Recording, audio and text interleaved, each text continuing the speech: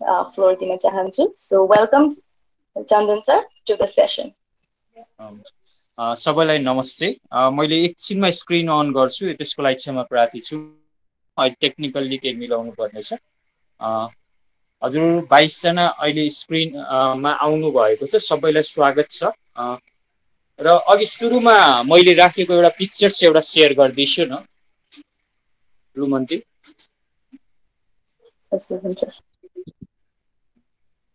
सानो एउटा अक्षरमा इङ्ग्लिस अक्षरमा छ। म इङ्ग्लिस नेपाली हिन्दीमा कन्भर्सेसनहरू गर्छु। हजुरहरूलाई भोइस क्लियर छ बुझिन्छ। मलाई यसो रेस्पोन्स गरिदिनु एक दुईजना सर। टङ्क सर हजुर बुझिरहेको सुनेको छ।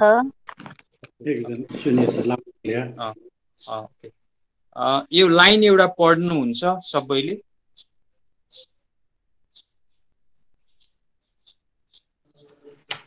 कोही एकजनाले सहयोग गरिदिनु जसले पढेर उच्चारण गर्दै पनि हुन्छ।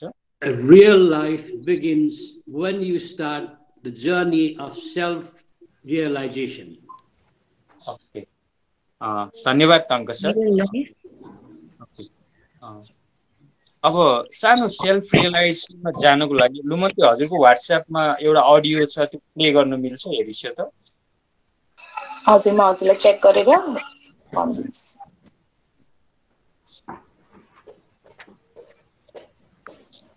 भिडियो होइन अडियो अडियो एउटा वाट्सएपमा पठाइ सबैले। ओके जो बिसजना हुर्सिन्छ हजुर कम्फर्टेबली आफ्नो ठाउँमा हुनुहुन्छ राम्रोसँग बस्दिनु। सजिलोसँग। चियाको लिँदै हुनुहुन्छ पाँच मिनटको लागि यसो डिले गरिदिनुहोस् अरू कामहरू जे जे गरिराख्नु भएको छ।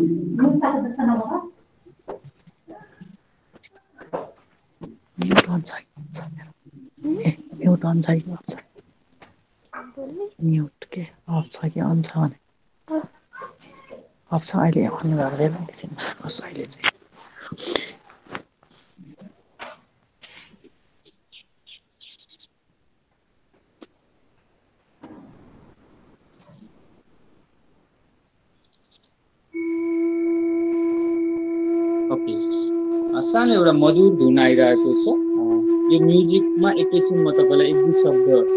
अगाडि लैजान्छु। यसलाई सामान्य सेल्फ टक कमेन्ट्री भनेर भनिन्छ।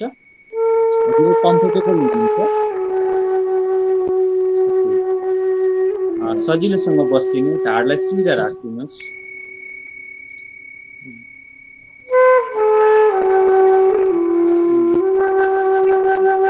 अबको दुई घन्टाको यात्राको लागि आफैले आफैसँग भोइसलाई अलिकति सानो गरिदिनु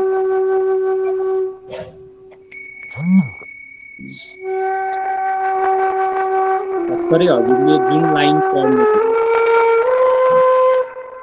त्यही लाइनलाई एकचोटि मनन गर्नुहोस्। अन्तर जगतको यात्राको लागि तयार हुँदैछ।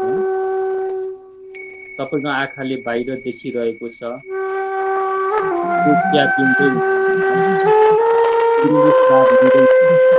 सबै कुरालाई एकैछिन बाहिरी भएको एकैछिन रोकेर आफैले आफैलाई हेर्नुहोस्। म जे सुनिरहेको छु यो सुन्ने यो कान हो कि कानभन्दा अरू केही फरक कुराले सुनिरहेको छ। आफैले आफैलाई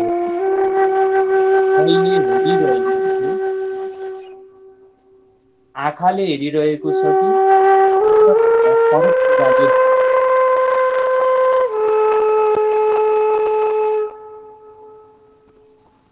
यो सबै गरिरहेको छ। कान भन्ने अङ्गले गरेको छ कि? अङ्गले दिइरहेको छ कि? योभन्दा फरक केही अस्तित्व आफैले आफैलाई फर्केर हेर्नु। हामी बाहिरी दुनियाँमा असल जाने बेला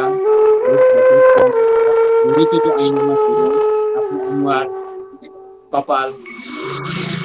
तर अब जिन्दगीको यात्रामा जानको लागि।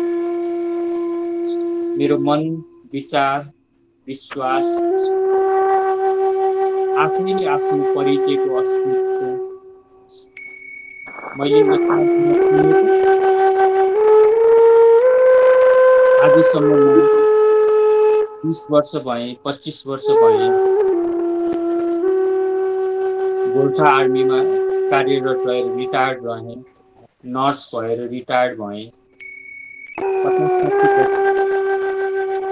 उमेर मैले कि मसँगै रहेर आफैले आफैसँग रहेर मैले आमा बुवाले भनेको आधारमा श्रीमतीले भनेको आधारमा पैसा कमाउनु दौडमा नाम इच्छा प्रतिष्ठाको आधारमा मैले मेरो जिन्दगी बिताएँ। आफैले आफैलाई सोध्नु होला।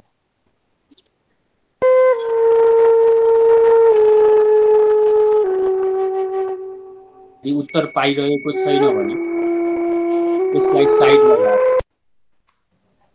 हिजोसम्म जे भयो सिक्यो आजबाट म आफूलाई अन्तर्जगतको यात्रामा आफैले आफूलाई चिन्ने यात्रामा अगाडि बढ्नको लागि तयार छु।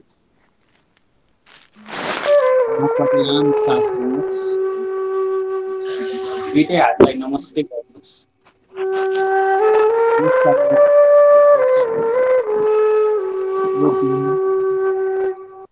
सम्पूर्ण जुटाइदिनु टेक्निकल साथी साथीहरू मेरो शरीर म परिवारका आफन्त सबैलाई कृतज्ञता व्यक्त गर्नुहोस्।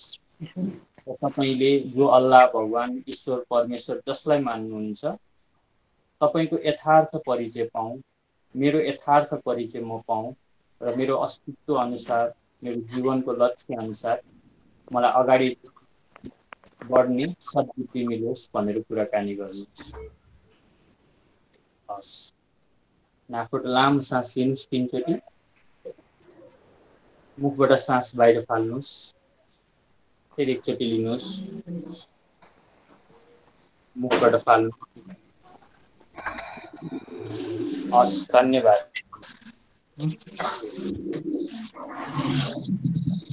हजुरमध्ये एकैजनाले कस्तो महसुस गर्नुभयो केही कुराहरू भएको जस्तो फिल भयो कि केही एक दुईजनाले सेयर गरिदिनु न यो पाँच दस मिनटको यात्रामा?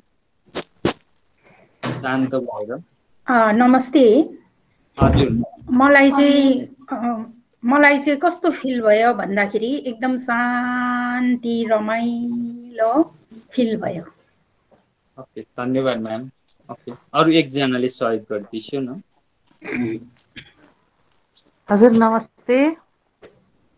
हजुर हजुर सृजना म्याम हजुर हजुर मलाई पनि एकदम खुसी आनन्द शान्ति मिलेको छ रमाइलो भइरहेको छ। ओके धन्यवाद सृजना ओके सायद उहाँहरू दुईजनाको अभिव्यक्तिलाई लिएर म अगाडि बढ्ने अनुमति चाहेँ बाँकी तेइसजना साथीहरूसँग। हजुरहरूले पनि पालो पालो बोल्दै गर्नु होला सायद हामीले हाम्रो जीवनको लक्ष्य यही सानो सानो प्राप्तिको लागि नै त खोजेका होला नि त। शान्ति प्रेम आनन्द सुख यही हो यही नै त होला नि होइन? कि अरू फरक लक्ष्य पनि छ कसैको केही छ योभन्दा फरक भने पनि बताइदिन्छु न। हामीले पैसा कमाउँछौँ वा केही काम गर्छौँ आत्मसन्तुष्टि पाउँछौँ परिवारमा केही भोजभतेर गर्छौँ। वा अहिले विभिन्न परिस्थिति आएको बावजुद पनि हामी स्वस्थ रहन चाहन्छौँ। सायद यही मूलभूत गुणको लागि नै हामी जीवनमा अगाडि बढिरहेछौँ होला नि। के फरक मत छ? केही छ? म हजुरसँग दोहोरो कुराकानी गर्दै अगाडि जाने अनुमति चाहन्छु। सर यसमा केही विचार राखिदिनुहुन्छ?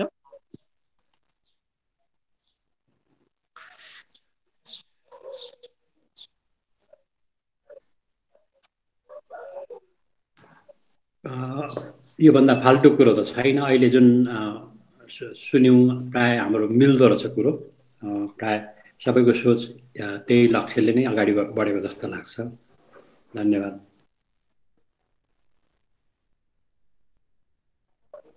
धन्यवाद टङ्क सर। हुन्छ। ओके। अब म हजुरहरूलाई सोध्न चाहन्छु। हजुरहरूमध्ये कसैले मलाई भोलिन्टरी सहयोग गर्नुभयो हुन्छ? तपाईँहरूमध्ये कसैले सेभेन डेज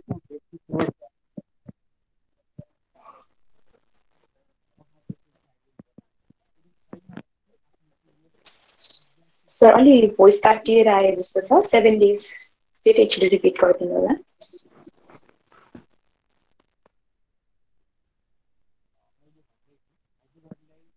भोइस आएको छैन। हजुर चन्दन सर हजुरले यो भर्खर जे प्रश्न राखिदिनु भयो फेरि एकचोटि रिपिट गरिदिनु होला। मैले जिज्ञासा राखेको भोइस क्लियर छ? लुमन्ती अहिले? हजुर अहिले चाहिँ क्लियर छ। ओके। मैले भन्दै थिएँ अब म जे जिज्ञासा राख्छु तपाईँहरूमध्ये कसैले सेभेन डेजको कोर्स वा ओम शान्तिको परिचय पाउनु भएको छ भने उहाँहरूले चाहिँ नबोलिदिनु होला। बाँकी अरू नयाँ छ लागि यो प्रश्न पहिला उत्तर दिनुभएको छैन भने हजुरले आफ्नो तर्फबाट राख्नु होला। म सोध्न चाहन्छु जस्तै हजुरहरूलाई मैले सोधेँ हजुरहरूले आफ्नो परिचय दिनुहोस् भन्यो भने हजुरहरूले तिन चार लाइनमा आफ्नो परिचय दिन्थ्यो न तपाईँ को हो भनेर मैले सोधेँ भने हजुरले के भन्नुहुन्छ परिचय दिनुहोस् न आफ्नो परिचय। कसैबाट सुरुवात गर्दा हुन्छ? Tanka sir Srijana sir Samriddhi ma'am.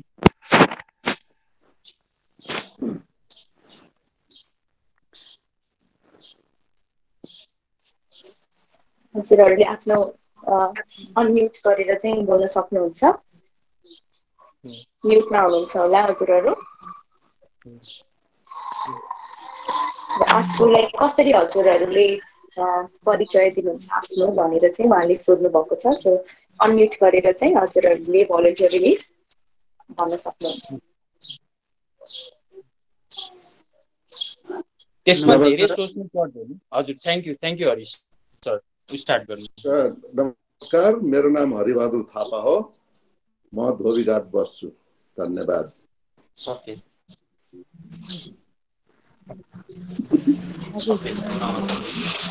Thank you very much अरू एकजा एक दुईजनाले सहयोग गरिदिनु न। सरले हरिबहादुर थापा भनेर आफ्नो नामको परिचय दिनुभयो र हजुर। नमस्ते मेरो सबैलाई सबैजना मेम्बर्सहरूलाई पिहानी टिम थ्याङ्क यू मेरो नाम चाहिँ सृजना दाहाल म चाहिँ तालची खेलमा बस्छु। हजुर। अनि म चाहिँ अहिले चाहिँ त्यस्तो केही पनि छैन मेरो अहिले अब लकडाउनमै छु म पनि। थ्याङ्क यू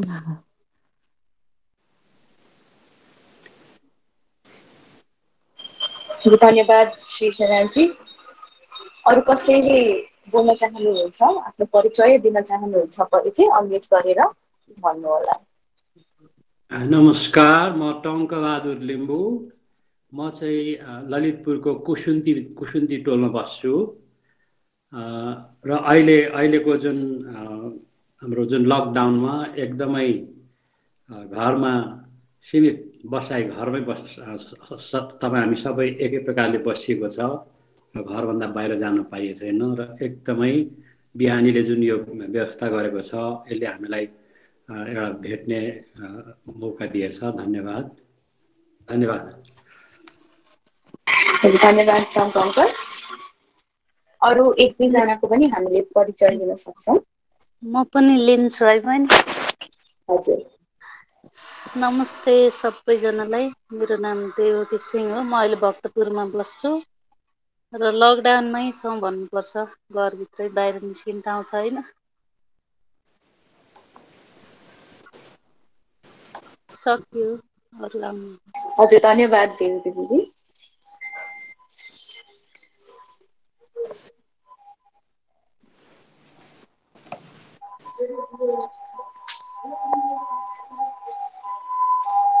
चन्दन सर हजुर हुनुहुन्छ भए हाम्रो केही मेम्बर्सहरू आजको अटेन्डिजहरूले उहाँहरूले परिचय पनि दिइसक्नुभयो र आजको लागि अहिलेसम्म हजुरहरूलाई के कस्तो लागिरहेको छ पनि सर्कल गर्न सक्छ चन्दन सर आइसक्नुभयो हजुर धन्यवाद बल्ल म क्यामेरा खोल्न सक्षम भएँ सबैलाई नमस्ते पुनः ओके आवाज क्लियर छ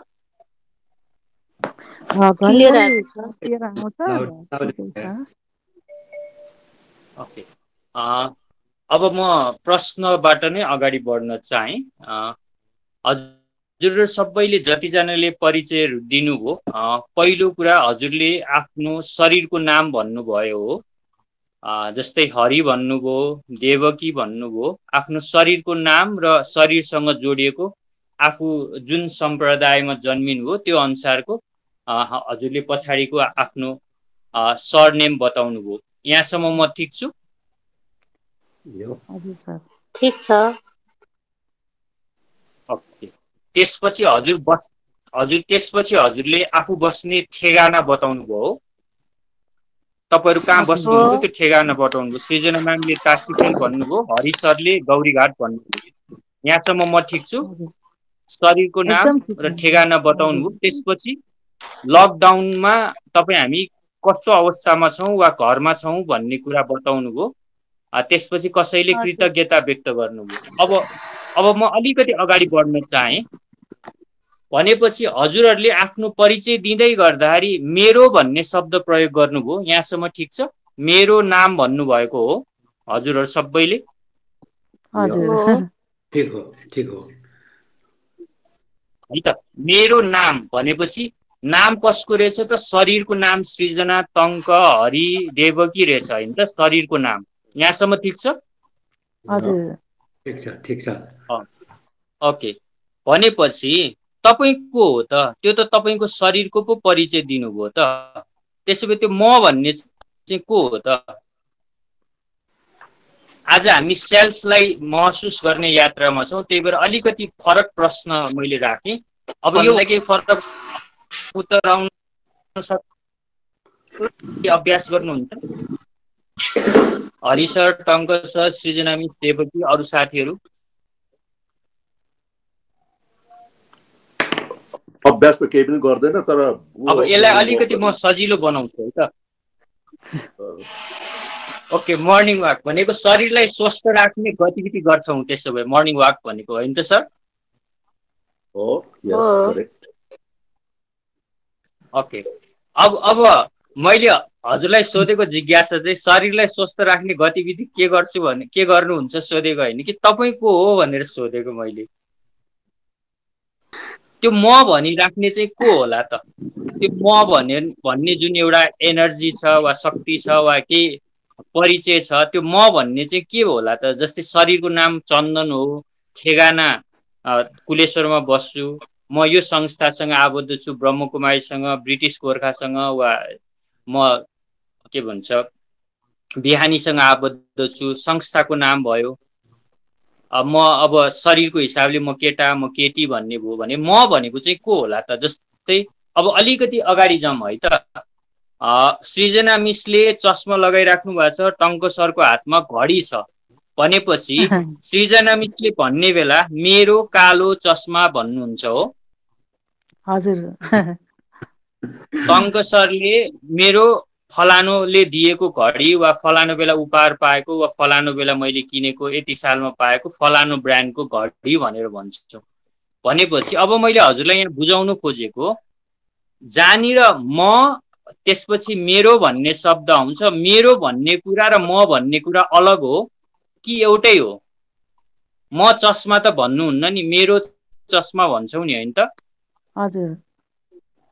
भने जस्तै हजुरले भर्खर के भने नि मेरो नाम भन्नुभएको भनेको जस्तै मेरो शरीर भने नाम र तपाईँ त फरक रहेछ नि त होइन त? कि एउटै हो? के लाग्छ हजुरहरू?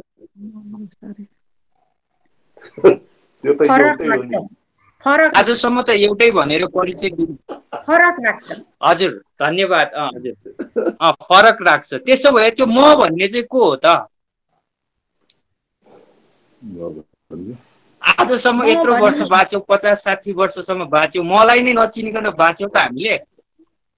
हजुर प्रयास गर्नु। ठ्याक्कै मिल्नुपर्छ भन्ने छैन। म भन्ने एउटा प्राणी हो मनुष्य हो। ओके ल। म भन्ने एउटा प्राणी हो मनुष्य हो। ल ठिक छ। यहाँसम्म पनि ठिक छ। ल भनेपछि आजसम्म हामीले कसैलाई पनि के त भन्दाखेरि जनावर हो वा मूर्ति हो ढुङ्गा हो वा काठ हो भनेर त भनेका छैनौँ। हामी सबैजना मनुष्य नै हो। तर त्यो मनुष्य भनेर चिन्ने अस्तित्व एनर्जी चाहिँ के हो त भनेर सोध्दैछु म। फेरि अगाडि जान खोज्दैछु। उसको अब अलिकति प्रयोग गरौँ है। उसको हजुर। कर्म। कर्म। ओके। ओके कर्म। ओके कर्म। भनेपछि त हाम्रो कर्म भनेको त जस्तै हजुरले बोल्नुभयो त्यो पनि कर्म भयो आज प्रोग्राम चलायो त्यो पनि कर्म भयो हामी आयौँ कर्म हो अनि कर्म चाहिँ म हो त। तरकारी पकाउनु भयो खाना बनाउनु भयो। खाना बनाउने तपाईँ त तपाईँले हो खाना तपाईँ होइन नि त होइन? कर्म पो भयो। तपाईँले गर्ने कर्म भयो त। तपाईँ चाहिँ को हो? त्यो कर्म गरिराख्ने चाहिँ को हो त? कर्तव्यले गराएको। ओके कर्म कर्तव्य ओके जिम्मेवारी भयो ओके ओके ल अब अलिकति हजुरहरूलाई नअल्मलाइकन म अलिकति अगाडि जान्छु है त। सानो एउटा पिक्चर्सहरू केही भिडियोजहरू प्ले गर्छु अनि अलिकति अगाडि जान्छु है त।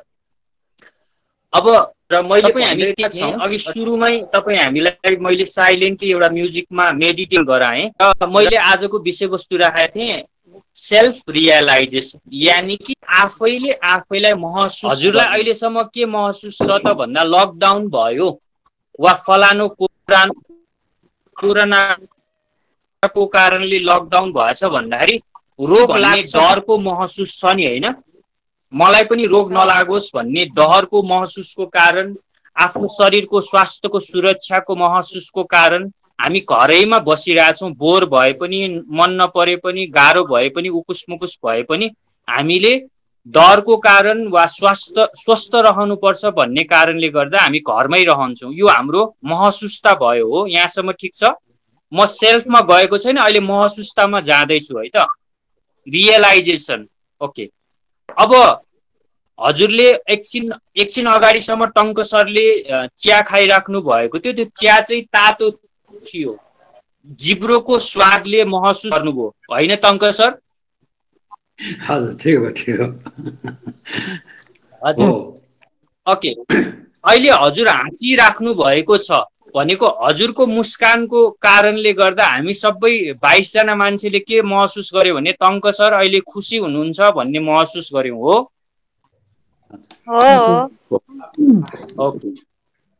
भनेपछि हामी चाहन्छौँ खुसी हुन महसुस गर्न चाहन्छौँ आनन्द हुन महसुस गर्न चाहन्छौँ तर लकडाउन भन्न बित्तिकै हामी किन डराउँछौँ त? किन डर महसुस? चाहने एउटा हुने अर्को किन यस्तो भइरहेछ त? के कारणले गर्दा हो त? परिस्थिति र सिचुएसनले गर्दा। ओके ल। ल म म्यामको प्रश्नबाट अगाडि जाएँ। हजुरहरू पनि बोल्दै जानुहोस् है। बोल्नु भयो भने चाहिँ म तपाईँसँग यात्रा गर्न सजिलो हुन्छु। किनभने मैले तपाईँलाई कलङ्कीतिर लान खोजिरहेको छु। भने ओके ल। ओके समस्याले गर्दाखेरि ओके अनि हजुर, भन्नुहोस्। भनेर पनि हो सर। रोग रोग रोग भोग सबैको। डर छ।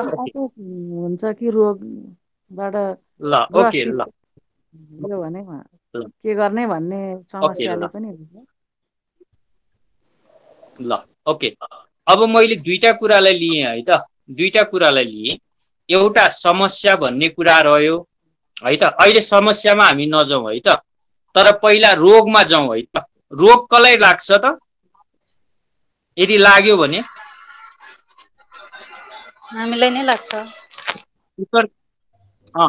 हामीले भन्नुको ठाउँमा मलाई भन्यो भने अझ सजिलो हुन्छ किन आज मको यात्रामा गर्दैछौँ है त हामी। हजुर। मैले मैले हेलचेक्राइ गरेँ भने मलाई रोग लाग्छ। मैले सावधानी अप्नाएँ भने म स्वस्थ हुन्छु। यही त हो नि त होइन अहिले लकडाउनमा घरमा बस्नुको कारण। यहाँसम्म ठिक छ? अरू ओके। अब मैले हजुरलाई यो जिज्ञासामा घुमाइ फिराइ राखेको कारण के भन्दाखेरि जब एउटा आफ्नो परिचय दिनलाई त हामीलाई यति लगभग बिस पच्चिस मिनट अल्मलिसकेका छौँ भने जब आफ्नै परिचय थाहा नपाइकन हामी जिन्दगीमा पचास साठी वर्ष यो उमेरसम्म बाँच्यौँ भने कति अल्मलियौँ होला? एकचोटि विचार गरौँ त तिस सेकेन्ड एक मिनट कति विचार गरौँ त? अल्मलियौँ होला नि त होइन? एकदम धेरै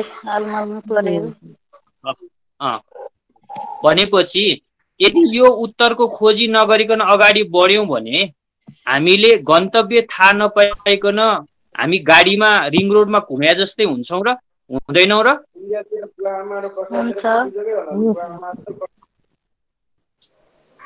ओके।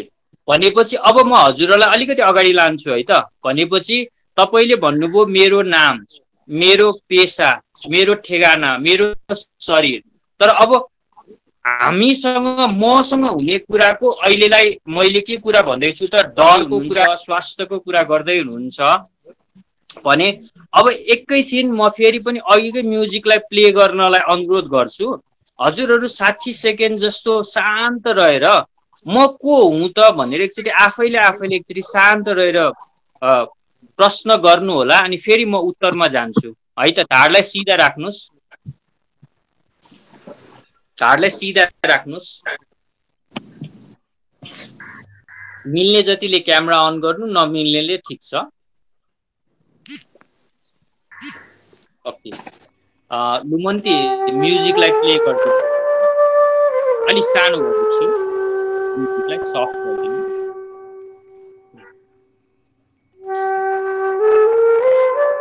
हामी सबैजना पच्चिसजना बिहानीको दुई बजेको कार्यक्रममा भेला भएका थियौँ र विषय थियो आफैले आफैलाई महसुस गर्ने सेल्फ रियलाइजेसन र यो महसुसताको यात्रामा चालिस मिनट बितिसक्दाखेरि पनि हामीले आफ्नो परिचय खोजि नै रहेका छौँ। सानोमा हामी हुर्क्यौँ खेल्यौँ रमाइलो गऱ्यौँ सानो दिनहरू खेलेरै बित्यो। जब अलिकति हुर्क्यौँ केही कुरा कर्म गर्ने कुरा मेहनत गर्ने कुरा थाहा पायौँ हामी काम गर्नमा नै व्यस्त रह्यौँ। तैपनि आफूलाई चिन्न सकेन।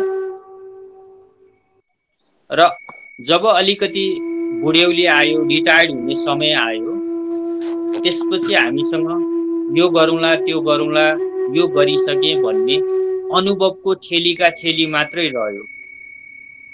तर यो सबै गरिरहँदाखेरि के म आफूसँग हरदम खुसी भएर आफैले आफैसँग सन्तुष्ट भएर अरूलाई सहयोग अरूको बोली वचनलाई पनि सहेर म अगाडि बढ्न सकेँ वा अझ पनि। दस वर्ष अगाडि कसैले बोलेको नराम्रो वचन तितो वचन अहिले पनि मनमा लिएर बसिरहेको जुन हामीले खानेकुरा एक दुई पुरानो चौबिस घन्टा पुरानो भयो भने खानेकुरा गनाउँछ र हामी खाँदैनौँ पनि दस वर्ष पुरानो कुरा हाम्रो दिमागमा त्यसले हाम्रो शरीरमा मनमा विचारमा हाम्रो सम्बन्धमा कति असर गर्यो? कुरालाई महसुस गरेर हिजोसम्म जे भयो त्यो कुरा सिक्नु मबाट कसैलाई जानी नजानी परिवार छोराछोरी श्रीमती घरका अफिसको हाकिम सहयात्री सहायक साथीहरूलाई मबाट केही गल्ती भएको छ मेरो वचनले चोट पुगेको छ भने उहाँहरूलाई सम्झेर त्यो परिस्थिति त्यो दिनलाई सम्झेर म माफी माग्दैछु। मन मनले मनको आँखाले मनको हातले उहाँहरूलाई सम्झेर माफी माग्नु यदि कसैले म माथि अन्याय गरेको कसैले म माथि गल्ती गरेको भने पनि उसले जे गर्यो कर्म। तर मेरो तर्फबाट उसलाई माफी गरिदिने चाहे कसैले पैसाको लागि धोका दिएको होस् चाहे सम्बन्धमा तितो भएको होस् उहाँहरू सबैलाई मैले माफी दिएँ। अब जति दिन बाँच्छु म आफैले आफैलाई चिनेर बाँच्छु मेरो अस्तित्वलाई चिन्छु। यो अस्ति जन्माइदिने मेरो गड अथवा परमेश्वरको खोजीमा उहाँलाई चिनेर आफ्नो जीवनलाई शान्ति खुसी आनन्द प्रेम पवित्रता ज्ञान शक्ति बाँडेर म अगाडि बढ्नेछु। र आजबाट एउटा कुरा म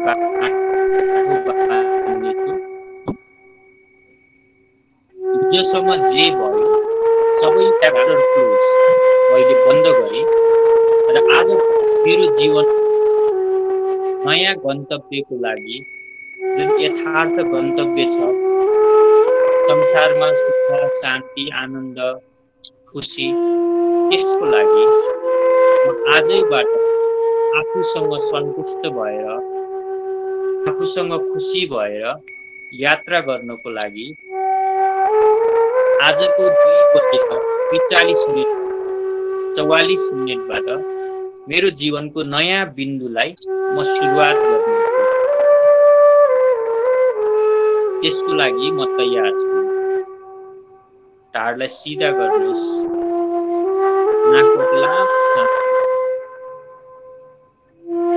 र धन्यवाद भन्नुहोस्। र म अब सामान्य अवस्थामा मेरो हिजोको ज्ञान बुद्धि विवेकलाई एक ठाउँमा राखेर आजबाट मेरो अस्तित्वको लागि नयाँ ज्ञान सिक्नको लागि म इच्छुक छु जिज्ञासु छु र मेरो अनुभवलाई एकातिर राख्नेछु हस् धन्यवाद। सामान्य अवस्थामा हुनुहोला। ओके। अब फेरि म अनुभवकै कुरा लिन चाहन्छु किनभने महसुसता र अनुभव सँगै सँगै यात्रा गर्छ। जस्तै चिया मिठो छ गर्मी छ यो हामीले महसुस गर्ने भने जस्तै यो शान्ति प्रेम आनन्द हामीले जति महसुस गर्न सक्छौँ त्यति नै तपाईँले आफूलाई चिन्न सक्नुहुनेछ। त्यही भएर म तपाईँलाई बाहिरको महसुसताबाट भित्रको यात्रामा लाने प्रयास गर्दैछु। अब हजुरहरूमा त एक दुईजनाले अनुभव सेयर गरिदिनु। अघि नबोलेको साथीहरू सृजना मिस देवकी म्याम र नम्रता म्याम बाहेक नयाँ साथीहरू देख्दै हुनुहुन्छ। रूपा मिस राहुल सर अरू साथीहरूले सेयर गर्नुभयो हुन्छ। हामी एक्काइसजना छौँ। हजुर हजुरले यो यात्रा भर्खरैको एकछिनको शान्तसँग आफूसँग कुराकानी गर्दा के महसुस गर्नुभयो? सेयर गरिदिनु। कस्तो फिल भयो? रमाइलो रमाइलो लाग्यो खुसी लाग्यो कस्तो लाग्यो?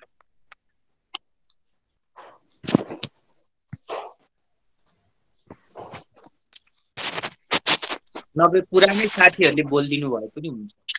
नयाँ साथीहरूले बोल्नुहुन्न भने।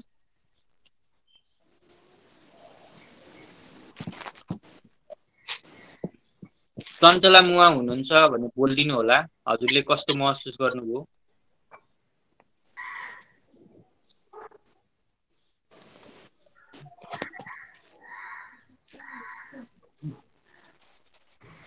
अहिले यो भर्खरैको जुन। म्युजिक सुन्दै सुन्नु हजुरहरूले ध्यान गर्नुभयो। हजुरहरूलाई कस्तो महसुस भयो होला? केही विचार व्यक्त गरिदिनु होला? मलाई सुन्नुभयो छैन बाबु। हँ? अँ चञ्चला मुवा हजुरको आवाज आयो। सुन्नुभयो? सुनिरहेको छु म। हजुर। अघि हजुरले भन्नुभएकोमा रमाइलो त एकदमै लाग्यो। आरा आनन्दले बसेर सुने। तर भन्नुभए अनुसार गर्न चाहिँ गाह्रो हुने। थाहा थाहा हो तर भन्न सजिलो गर्न गाह्रो जस्तो लाग्यो मलाई चाहिँ। ल। हुन्छ ठिक छ ल। म उहाँलाई एक दुई शब्द सोधेर अनि म फेरि त्यही प्रश्नमा मुवा के चाहिँ गाह्रो भयो चञ्चला मुवा हजुरलाई? हजुर। के चाहिँ गाह्रो भयो उहाँ के गर्न गाह्रो अब पुरानो कुरा कसै माफ माफ गर्नु भन्नु नै एउटा गाह्रो कुरा। कसैलाई। मलाई लाग्छ नि अब थाहा छ सबै बिर्सिनु पर्छ यसले मलाई तर त्यो त मनमा त बसिरहन्छ नि। मलाई फलानाले यस्तो भनेको थियो मलाई उसले यस्तो भनेको थियो भनेर मनमा बसिरहन्छ। त्यो पनि मलाई एकदमै गाह्रो कुरा जस्तो लाग्यो। फेरि माफै गर्न सक्यो भने त हजुरले भने जस्तो दुःख त हुँदै हुँदैन हो। थाहा छ तर गर्न चाहिँ एकदमै गाह्रो कुरा जस्तो लाग्यो। कसरी सजिलो हुन्छ त्यो सिकाइदिनु पर्यो अब। ल हुन्छ त्यसैको यात्रामा समूह धन्यवाद। अब यसमा यो सजिलो गर्ने कुरा नै के भन्दाखेरि हामीले आफैले आफैलाई नचिनेर आफूलाई के गर्दाखेरि फाइदा हुन्छ घाटा हुन्छ भन्ने कुराको महसुसता नभएको कारणले गर्दा यो गर्न गाह्रो भइरहेको हामी त्यसैको अभ्यास गर्नेछौँ। औ अझ एक घन्टा बिस मिनट बाँकी छ। त्यसमा म हजुरलाई सहयोग गर्छु है त। हजुरले भन्नुभयो माफी दिनुपर्छ भन्ने थाहा छ तर माफी दिनै गाह्रो छ भन्नुभयो। होइन त म हजुर ल म यसमा रहेर अगाडि यात्रा बढ्छु है त। मुवालाई जस्तै अरू कसैलाई केही भएको छ त? मुवाले भन्नुभयो मुवालाई थाहा छ। मुवा हजुरको उमेर कति भयो अहिले? म seventy two. Okay seventy two. हजुरले माफ गर्न गाह्रो भएको कुरा चाहिँ कति वर्षको अगाडिको होला मुवा? एक वर्ष पाँच वर्ष दस वर्ष अगाडि कति वर्ष अगाडिको होला?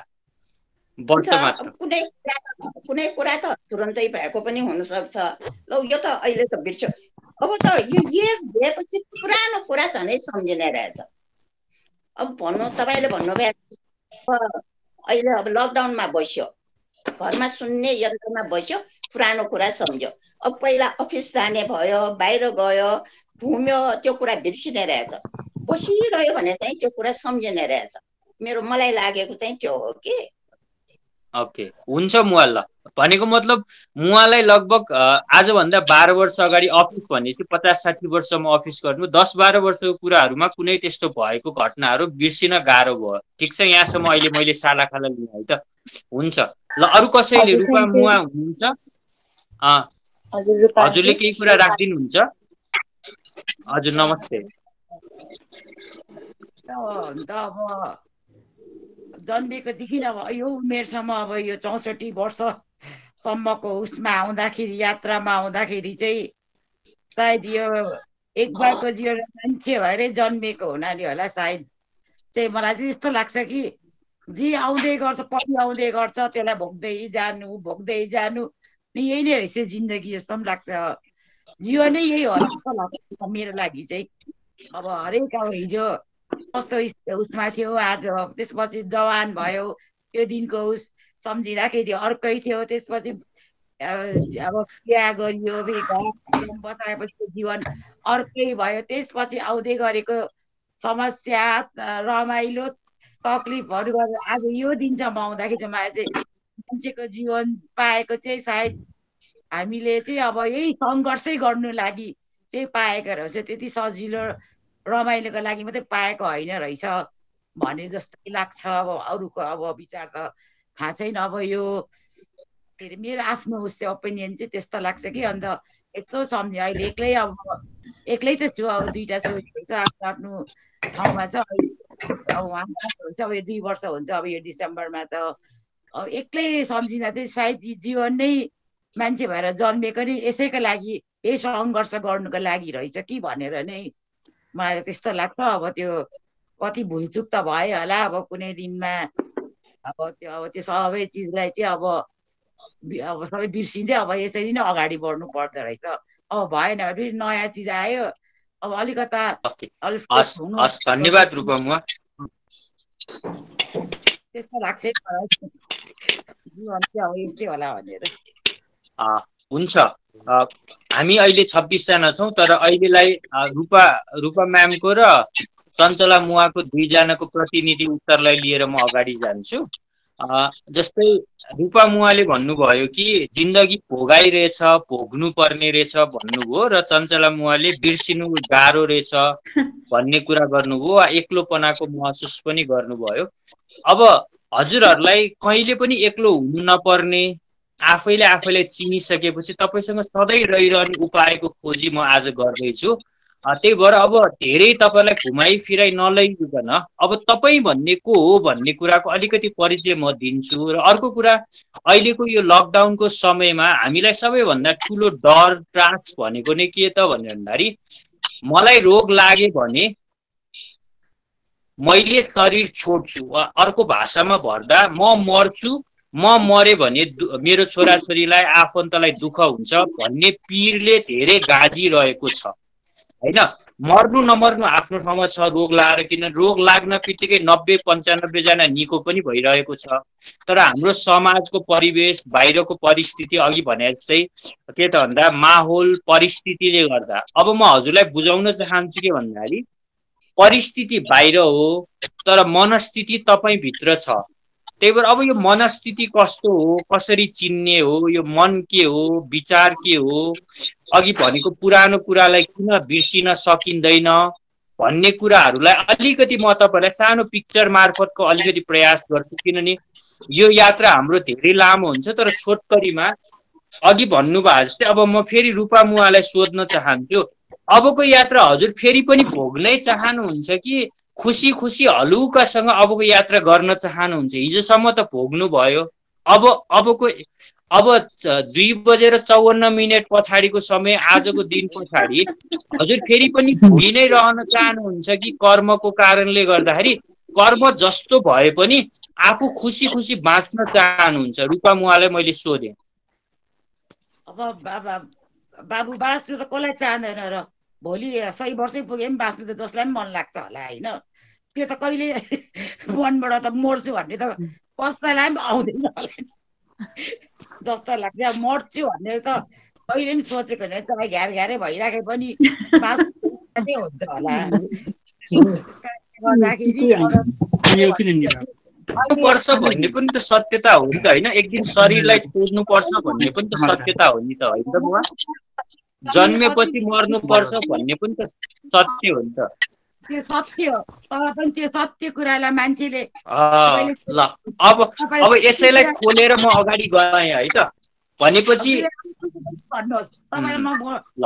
तपाईँ हामी सत्ताइसजना छौँ। अब प्रश्न उत्तरमा पनि जान्छौँ। अब म छोटकरीमा मात्रै जा गएँ। अरू भिडियोहरू म पछि प्ले गरौँला अहिलेलाई तपाईँहरूसँग दोहोरो प्रश्न उत्तर गर्नु भन्दाखेरि अब तपाईँ को हो भन्ने जान्न चाहनुहुन्छ त? तपाईँ को हो भन्ने कुरा जान्न चाहनुहुन्छ त? तपाईँ नामले तपाईँको शरीरको नाम रूपा हो तर तपाईँको यथार्थ परिचय आएको छैन। नरमाया हो सृजना हो राहुल हो टङ्क हो सबै नाम थर पेसा हो जस्तै मानिलिउँ। मैले भने म चन्दन श्रेष्ठ। म कुलेश्वरमा बस्छु। म एक्लो छोरा भन्यो भने मेरो परिवारको परिवेशको बारेमा मैले भने ठेगाना भने नाम भने मैले गर्ने पेसा भने तर मैले आफ्नो परिचय दिएँ तर म भन्ने कुराको लागि म अलिकति अब सानो एउटा चित्रको सहयोग लिन्छु। म अगाडि जान्छु। अब रूपा मुवाले पनि ध्यान दिएर यो पिक्चरलाई बुझ्नुहोस्। नम्रता मुवा अरू चञ्चला मुवा र साठी सत्ताइसजना मान्छे। हेर्दा साधारण छ तर यसको उत्तरको खोजी गर्नुभयो भने हजुरलाई दुःख पीडा डर त्रास भन्ने कुराबाट हजुरहरू मुक्त हुनुहुन्छ र त्यसको यथार्थ परिचय म आज दिँदैछु। हुन्छ म्याम एकचोटि गरिदिनु है त। हजुर को हुनुहुन्छ म भन्दैछु है त।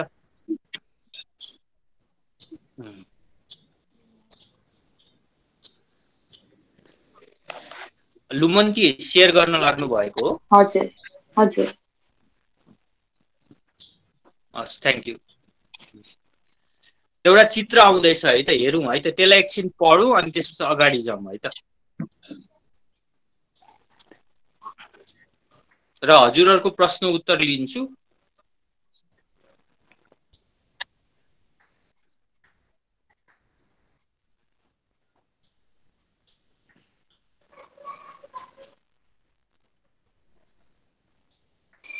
हजुर हाम्रो यो नब्बे मैले सेयर? गर्न मिल्छ त लुमन्ती हाम्रो प्रेजेन्ट हुँदैछ हजुर। ओके।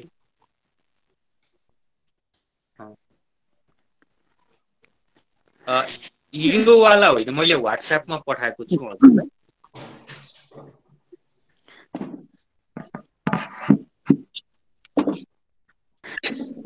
एक्सक्युज मी सर हजुर। हजुर सृजना मिस सोध्दै गर्नुहुन्छ हजुरलाई वाट्सएपमा पठाएको म चाहिँ दृष्टिबिन म दृष्टिबिन भएको चित्रको एक्सप्लेन गरिदिनु होला है ए त्यो त तपाईँको पर्सनल कुरा हो। त्यसलाई गर्दा यहाँ सबै माथि गर्दा अलिकति गाह्रो हुन्छ तर म कर्मको नियमबाट अलिकति बताइदिन्छु। त्यसमा केही पनि छैन। आज तपाईँ दृश्यविहीन भए पनि ज्ञानबाट म तपाईँलाई आफ्नो दृश्य देखाउने अभ्यास गर्दैछु। चित्र त मैले हजुरलाई देखाउन सकेन तर म मौखिक रूपमा बुझाइ त सृजना मिस ठिक छ। ओके ल। यहाँनिर इङ्ग्लिस र नेपालीमा शब्द छ यो हिन्दीको भर्जन परिएको छ तर इङ्ग्लिसमा यहाँनिर सानो चित्र छ। म सृजना मिसलाई पनि बुझाइदिन्छु तर नम्रता मुवा अरू साथीहरू जसले पढ्न सक्नुहुन्छ त्यहाँ वरिपरि चित्र र एक्जाम्पल्सहरू देखाइएको छ के बुझ्नुहुन्छ त्यो बताइदिनु होला।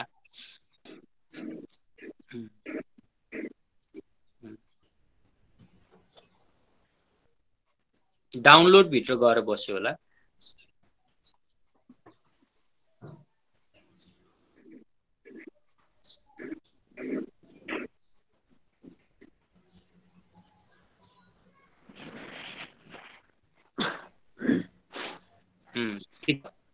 हुन्छ। यसलाई अलि इनलार्ज लार्ज गर्नु मिल्छ ठिक छ ल। हुन्छ। ओके। म सृजना मिसलाई एकैछिनमा सोध्छु बताइदिन्छु। म पहिला त्यहाँ देखाउँछु। यहाँनिर एउटा केही शरीरको पुत्ला भएको हड्डी भएको एउटा सानो यतातिर बायाँतिर चित्र देखाइएको छ भने एउटा यता लुगा लगाइरहेको एउटा चित्र देखाइएको छ। अरू साथीहरूले भन्नुहोस् त के के देख्दै हुनुहुन्छ यहाँ चित्रमा? सबैले बताउनुहोस् त। म सृजना मिसलाई एकछिनमा एक्सप्लेन गर्छु है म। मिस? सबैजना आत्मा हो।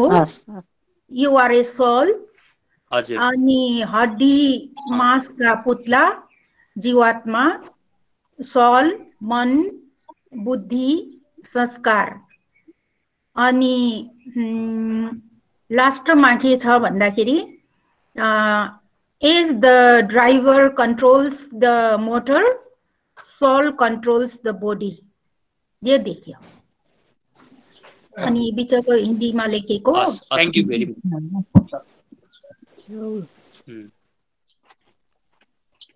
ओके हस् हस् थ्याङ्क यू मुवा ल म सृजना मिसलाई पनि एक्सप्लेन गर्दै गर्छु.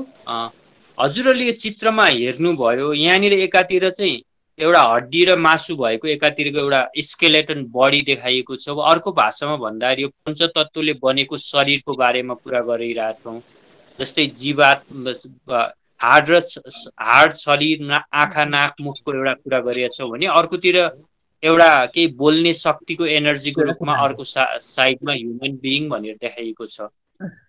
अब यहाँनिर अघि भनेका कुराहरूलाई अलिकति लिएर म अगाडि जान चाहन्छु र अलिकति अब यो आत्माको परिचयको लागि अलिकति म तपाईँहरूलाई एक्सप्लेनेसन्स दिन चाहन्छु। तपाईँ हामीले अघि पछि यहाँ मैले राहुल भनेर स्क्रिनमा देख्दैछु सायद मुवाको त्यहाँ नाम अर्कै होला तर सायद कसैको मोबाइल चलाइराख्नु भएको होला। मुवाले भर्खर स्क्रिन अफ गर्नुभएको छ तर उहाँको निधारमा टिका थियो होइन? भनेपछि तपाईँ हामीले सामान्यतया बोलीचालीको भाषामा कोही मान्छेलाई राम्रो होस् प्रगति होस् विदेश जानु पर्यो भने पनि टिका लगाइदिन्छौँ। वा उसलाई के भन्छ राम्रो दक्षिणा दिन्छौँ वा कसैको राम्रो कार्य गर्नु पर्यो भने पनि टिका लगाइदिन्छौँ राम्रो होस् भनेर।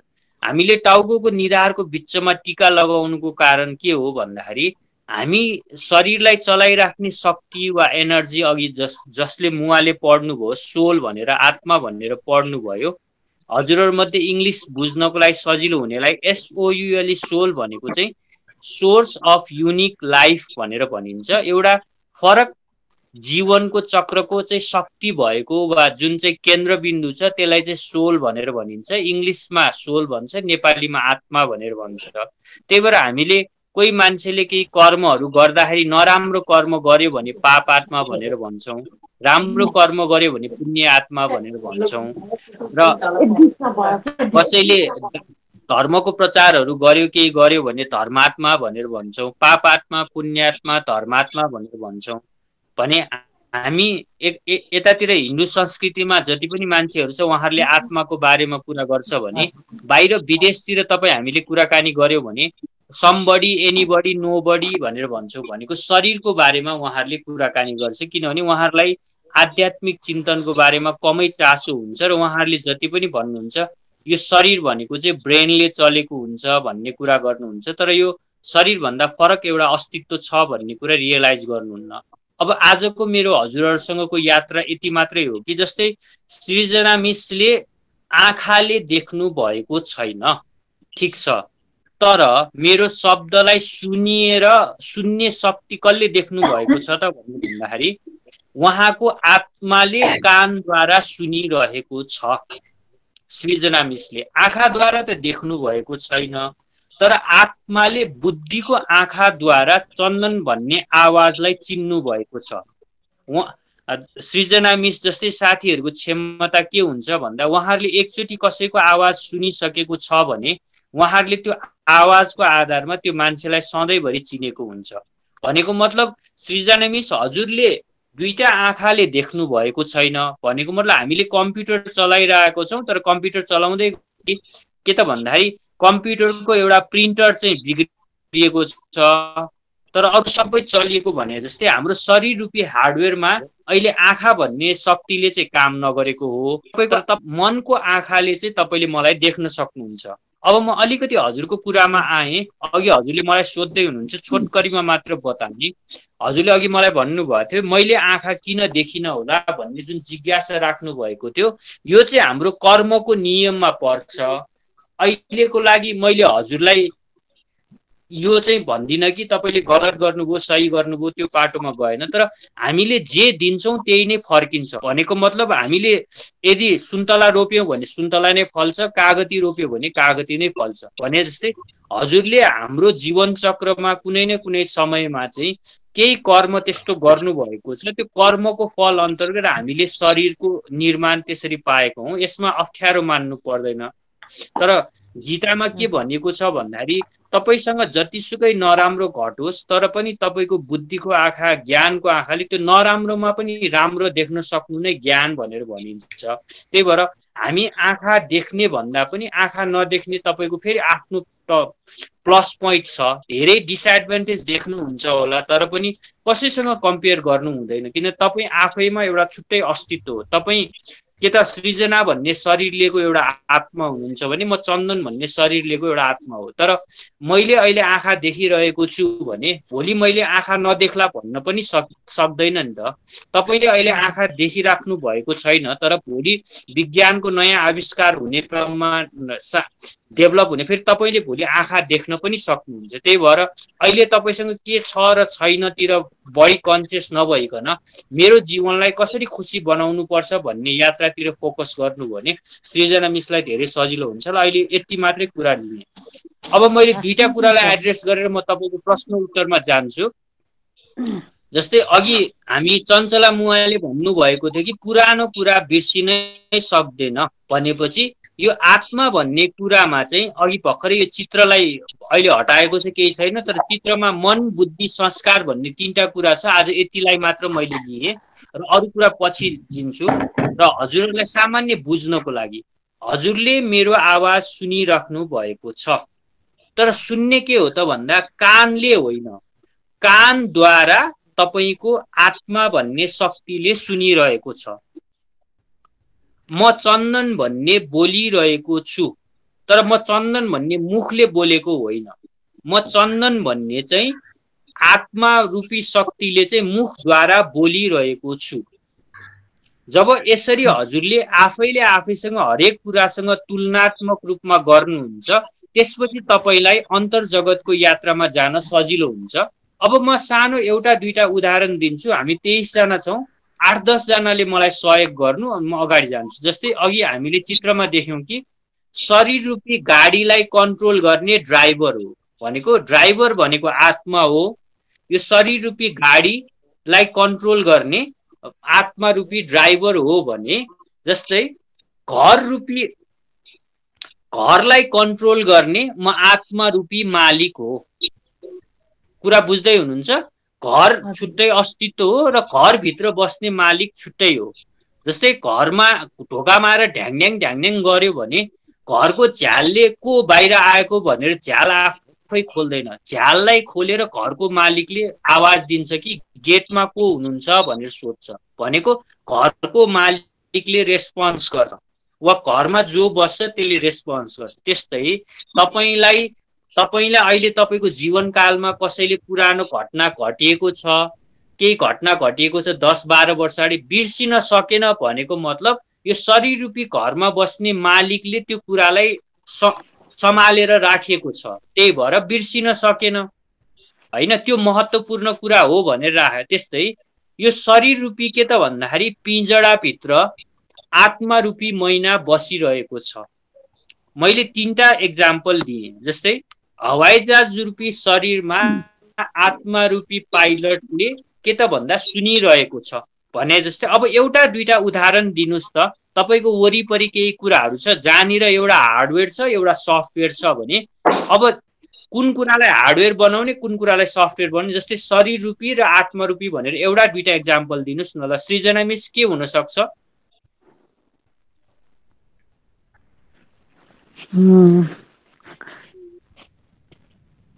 सर अलिक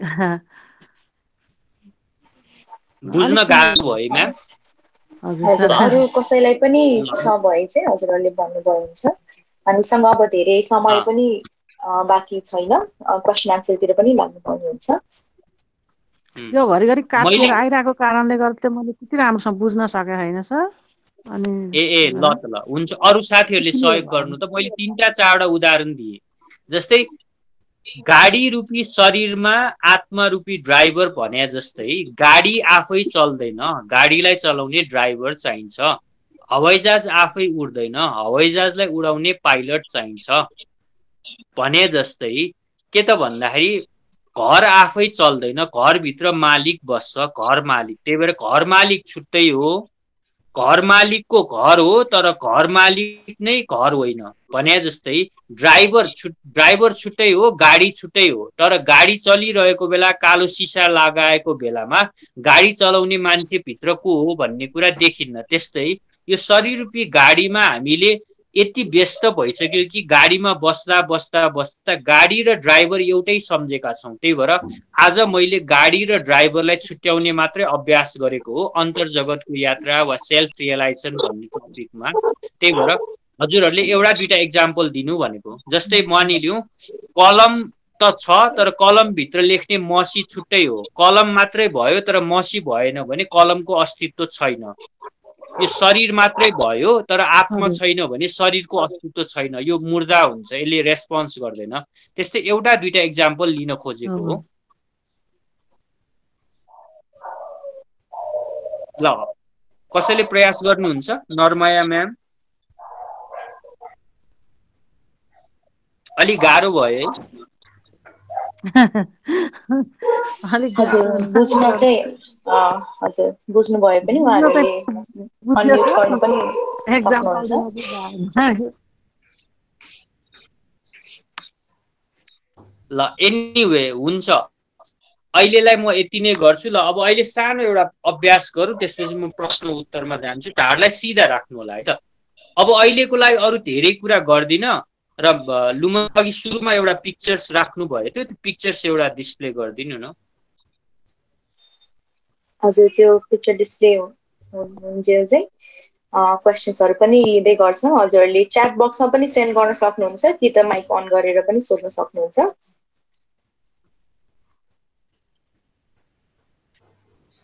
यसलाई अलिकति इन्लार्ज गरिदिनुहोस् न। यही अगाडि अगाडि यहाँनिर हजुरले एउटा गोलो रातो घेराभित्र एउटा ज्योति देखिराख्नु भएको छ। यो भनेको चाहिँ एउटा आत्माको सानो एउटा परिचय जस्तै मात्रै हो जस्तै तपाईँलाई मैले आत्मा भने अरे आत्मालाई न आँखाले देख्न सकिन्छ न यसलाई आगोले जलाउन सकिन्छ न यसलाई हुरी बतासले उडाउन सकिन्छ। न यसलाई चक्कुले काट्न सकिन्छ न यसलाई गोली लाग्छ। यो एउटा आत्मा भन्ने एउटा यस्तो एनर्जी हो कि जुन अजर अमर अविनाशी छ। भनेको मतलब यो कहिले पनि पुरानो हुँदैन। हाम्रो शरीर पुरानो हुन्छ तर आत्मा पुरानो हुँदैन। त्यसपछि यो आत्मा कहिले पनि मर्दैन। शरीर चाहिँ हामीले छोड्नु पर्छ त्यही भएर हजुरहरूलाई आजबाट म के कुरा रिक्वेस्ट गर्छु भन्दाखेरि जस्तै अघि मलाई हाम्रो म्यामले सोध्दै हुनुहुन्थ्यो कि मैले आँखा किन देखिनँ होला भन्ने कुराको कुरा गर्दाखेरि हाम्रो यो एउटा मात्र जन्म होइन। हाम्रो जन्म धेरैवटा जन्म छ। अहिले कतिवटा जन्म भन्ने कुरा गर्दिनँ। तर हजुरको एउटा मात्र जन्म होइन। त्यही भएर हामीले जे कर्म गर्छौँ त्यो कर्मले हाम्रो सम्पूर्ण जीवन चक्रलाई नै असर गर्ने भएको कारणले गर्दा जस्तै रूपा रूपा म्यामले भन्नुभयो कि म यहाँ एक्लै छु छोरीहरू विदेशमा छ भनेको मतलब हाम्रो कर्मको नियम अन्तर्गत छोरीहरू तपाईँको कोखबाट जन्मिनु भयो तर उहाँहरूको जहाँ जहाँ कर्मको नियम अन्तर्गत लिनुपर्ने दिनुपर्ने कसैको श्रीमती बन्नुपर्ने कसैको अफिसमा गएर काम गर्नुपर्ने त्यो नियम अन्तर्गत चाहिँ त्यो व्यक्ति त्यो ठाउँमा गएर रहन्छ। त्यही भएको कारणले गर्दाखेरि हजुरहरूले के एउटा बुझ्नु पर्यो भने आत्मा चाहिँ अजर अमर अविनाशी छ कहिले पनि मर्दैन। त्यही भएको कारणले हजुरले के बुझ्नु पर्यो भन्दाखेरि यदि कोरोना लाग्यो फर इक्जाम्पल भने हजुर मर्ने होइन। हजुरले यो शरीर रूपी लुगालाई मात्रै परिवर्तन गर्ने हो। जसरी सर्पले आफ्नो काँचुली फेर्छ त्यसरी नै फेर्ने हो। तर तपाईँ मर्छु भनेर पनि मर्नु पाउनुहुन्न बाँच्छु भनेर पनि बाँच्नु पाउनुहुन्न। जस्तै मानिलियो अहिले घडीमा सवा तिन तिन बजेर चौध मिनट गएको छ। तर तपाईँ हामी सबैलाई थाहा छ कि यो कार्यक्रम अवधि दुई बजेदेखि चार बजेसम्म मात्रै हो। भनेपछि मैले जतिसुकै राम्रो भूमिका गरे पनि जतिसुकै राम्रो बोले पनि मैले सबै कुरा आफ्नो कुराहरू चाहिँ चार बजेभित्रमा समेटिसक्नु पर्छ तर चार बजेपछि म यहाँ के भन्छ? यो यो सेसनमा यो जुन हाम्रो भिडियो सेसनमा नरहनु भनेको मतलब म छैन भन्ने होइन। मेरो अस्तित्व छैन म मरेँ भन्ने होइन। खालि म जुममा मात्रै नभएको हो। जस्तै रूपा रूपा एन्टीको रूपा मुवाको छोरा छोरीहरू यहाँ छैन भनेको मतलब उहाँहरूको नेपालमा पो अस्तित्व छैन तर उहाँहरू त अस्ट्रेलियामा छ अमेरिकामा छ उहाँहरूको अस्तित्व त्यहाँ छ। त्यस्तै तपाईँले भोलि कुनै कारणले रोगको कारणले गर्दा कालको कारणले गर्दा कि एक्सिडेन्ट भएर यो शरीर छोड्नु भए पनि तपाईँको आत्मा चाहिँ रहिरहन्छ। त्यही भएर हजुरले जे कर्म गर्नुहुन्छ अहिले खुसी भएर कर्म गर्यो भने त्यही कर्म लिएर जानुहुन्छ। अहिले दुखी भएर कर्म गर्यो भने त्यही। अब अघि चञ्चला मुवाले भन्नुभयो कि मैले त्यो मान्छेको कुरा बिर्सिन सकेन भन्नुको मतलब यदि मुवाले त्यो कुरा बिर्सिनु भएन भने अब त्यो मुवाले त्यो मान्छेसँग लिनुपर्ने दिनुपर्ने रिसाउनु पर्ने झर्किनु पर्ने के के गर्नु बाँकी छ फेरि त्यो चुक्ता गर्नलाई फेरि जन्मिनु पर्ने हुन्छ। यदि उहाँले अहिले नै माफी दिनु भएन भने होइन धेरै नै रिस छ भने उहाँको छोराछोरी भएर जन्मिनुहुन्छ यसलाई कर्मको नियम भन्छ हामी। कुनै दिन अर्को विषयमा चर्चा गरौँला। तर हजुर आत्मा अजर अमर अविनाशी भएको कारणले गर्दाखेरि हजुरको शाश्वत गुण भनेको नै शान्ति प्रेम आनन्द खुसी हो। हजुरलाई रिसाउन मन पर्दैन। तर रिसाउँछौँ किन भन्दाखेरि म शरीर होइन म म शरीर हो भन्ने हाम्रो शरीरको अहङ्कारको कारणले गर्दा हामी रिसाएको हौँ। तर जुन दिन तपाईँलाई म शरीर होइन म आत्मा हो र त्यो मान्छेसँग मेरो छोराको भूमिका छ छोरीको भूमिका छ उसले आफ्नो भूमिका खेलेको उसको केही पनि दोष छैन। ऊ आत्मा हो ऊ असल हो भन्ने कुराको जब हामीले शुभ भावनाको विकास गर्छौँ त्यसपछि हाम्रो रिस राग द्वेषहरू कम हुँदै जान्छ। तर यसको लागि फेरि बहुत कालको अभ्यास चाहिन्छ। आजको भोलि त हुँदैन। अब आज मैले हजुरलाई सिकाएँ भोलि पर्सि पनि गर्दै जानुहोस् र त्यो कुराहरूको विकास हुँदै जान्छ। त्यही भएर हजुरले बुझ्नुपर्ने कुरा के आत्मा निधारको मध्य भागमा रहन्छ। म सानो एउटा भिडियो प्ले गर्छु। र जुन चाहिँ अजर अमर अविनाशी छ यसमा सातवटा गुणहरू छ। अहिलेलाई मैले यतिको मात्र लिएँ। आत्मा आफैमा आनन्द स्वरूप हो। आनन्द खोज्न बाहिर जानु पर्दैन तपाईँ भित्रै छ। आत्मा आफै ज्ञान स्वरूप हो। ज्ञान तपाईँ भित्रै छ। मैले तपाईँलाई आत्मा भनेर चिनाइराख्नु पर्दैन। आत्मा हो भन्ने ज्ञान तपाईँसँगै छ। खालि मैले माथि लगाएको धुलो मात्रै सफा गरिदिएको किताबको पन्ना तपाईँभित्रै छ। त्यही भएर आत्मा आनन्द स्वरूप छ ज्ञान स्वरूप छ आत्मा स्वयंमा शान्ति स्वरूप छ। तपाईँलाई मैले भने बाह्र घन्टा रिसाउनुहोस् चौबिस घन्टा रिसाउनुहोस् भन्दा रिसाउनु सक्नुहुन्न। तपाईँलाई मैले भने दस घन्टा झगडा गर्नु एक घन्टा झगडा किनभने हामी आत्माको निज गुण हो भनेको मतलब के त भन्दाखेरि हो। त्यही भएर यो गुणमा फर्किन चाहन्छ। त्यही भएको कारणले गर्दा अहिले हामी परिवारसँग भेट्न चाहन्छौँ कुरा गर्न चाहन्छौँ खुसी हुन चाहन्छौँ तर हामीले कसैको आधार लिएका छौँ। आफूलाई नचिनेको कारणले गर्दा अरूलाई आधार लिएका छौँ। तर जुन दिन तपाईँले म आत्मा अजर अमर अविनाशी हुँ मैले गरेको कर्म मैले नै लिएर जान्छु। त्यही भएको कारणले गर्दा मैले सबैलाई माफी दिनुपर्छ र अबको यात्रा म खुसी भएर जान्छु भन्ने यात्राको सुरुवात गर्नुभयो भने तपाईँलाई डर त्रास भए भन्ने कुराहरू कम हुँदै जान्छ। त्यही भएर अहिले छोटकरीमा यति मात्र नि। अब अलिकति तपाईँलाई बुझ्नको लागि एउटा भिडियो प्ले गर्छु। त्यसपछि म प्रश्न उत्तरमा जान्छु। तिन मिनट पचपन्न सेकेन्डबाट एउटा भिडियो प्ले गरिदिनुहोस् न। मैले हजुरलाई जे बुझाएँ त्यही भिडियो मैले बुझाउने प्रयास गर्दैछु अहिले। एकचोटि हेर्नु होला।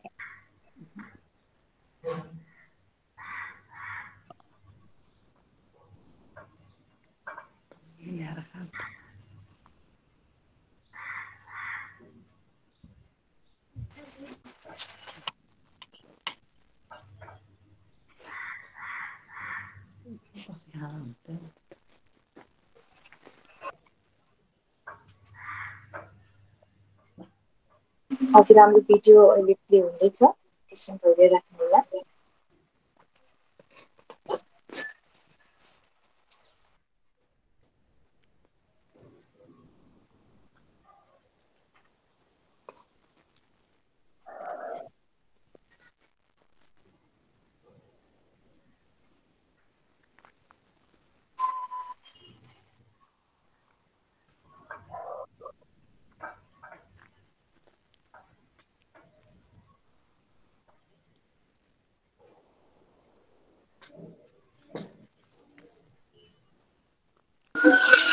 हाम्रो यो भिडियो प्ले हुन्छ चाहिँ हजुरहरूको केही प्रश्न छ हाम्रो आज स्पिकर चन्द्रन सरको लागि।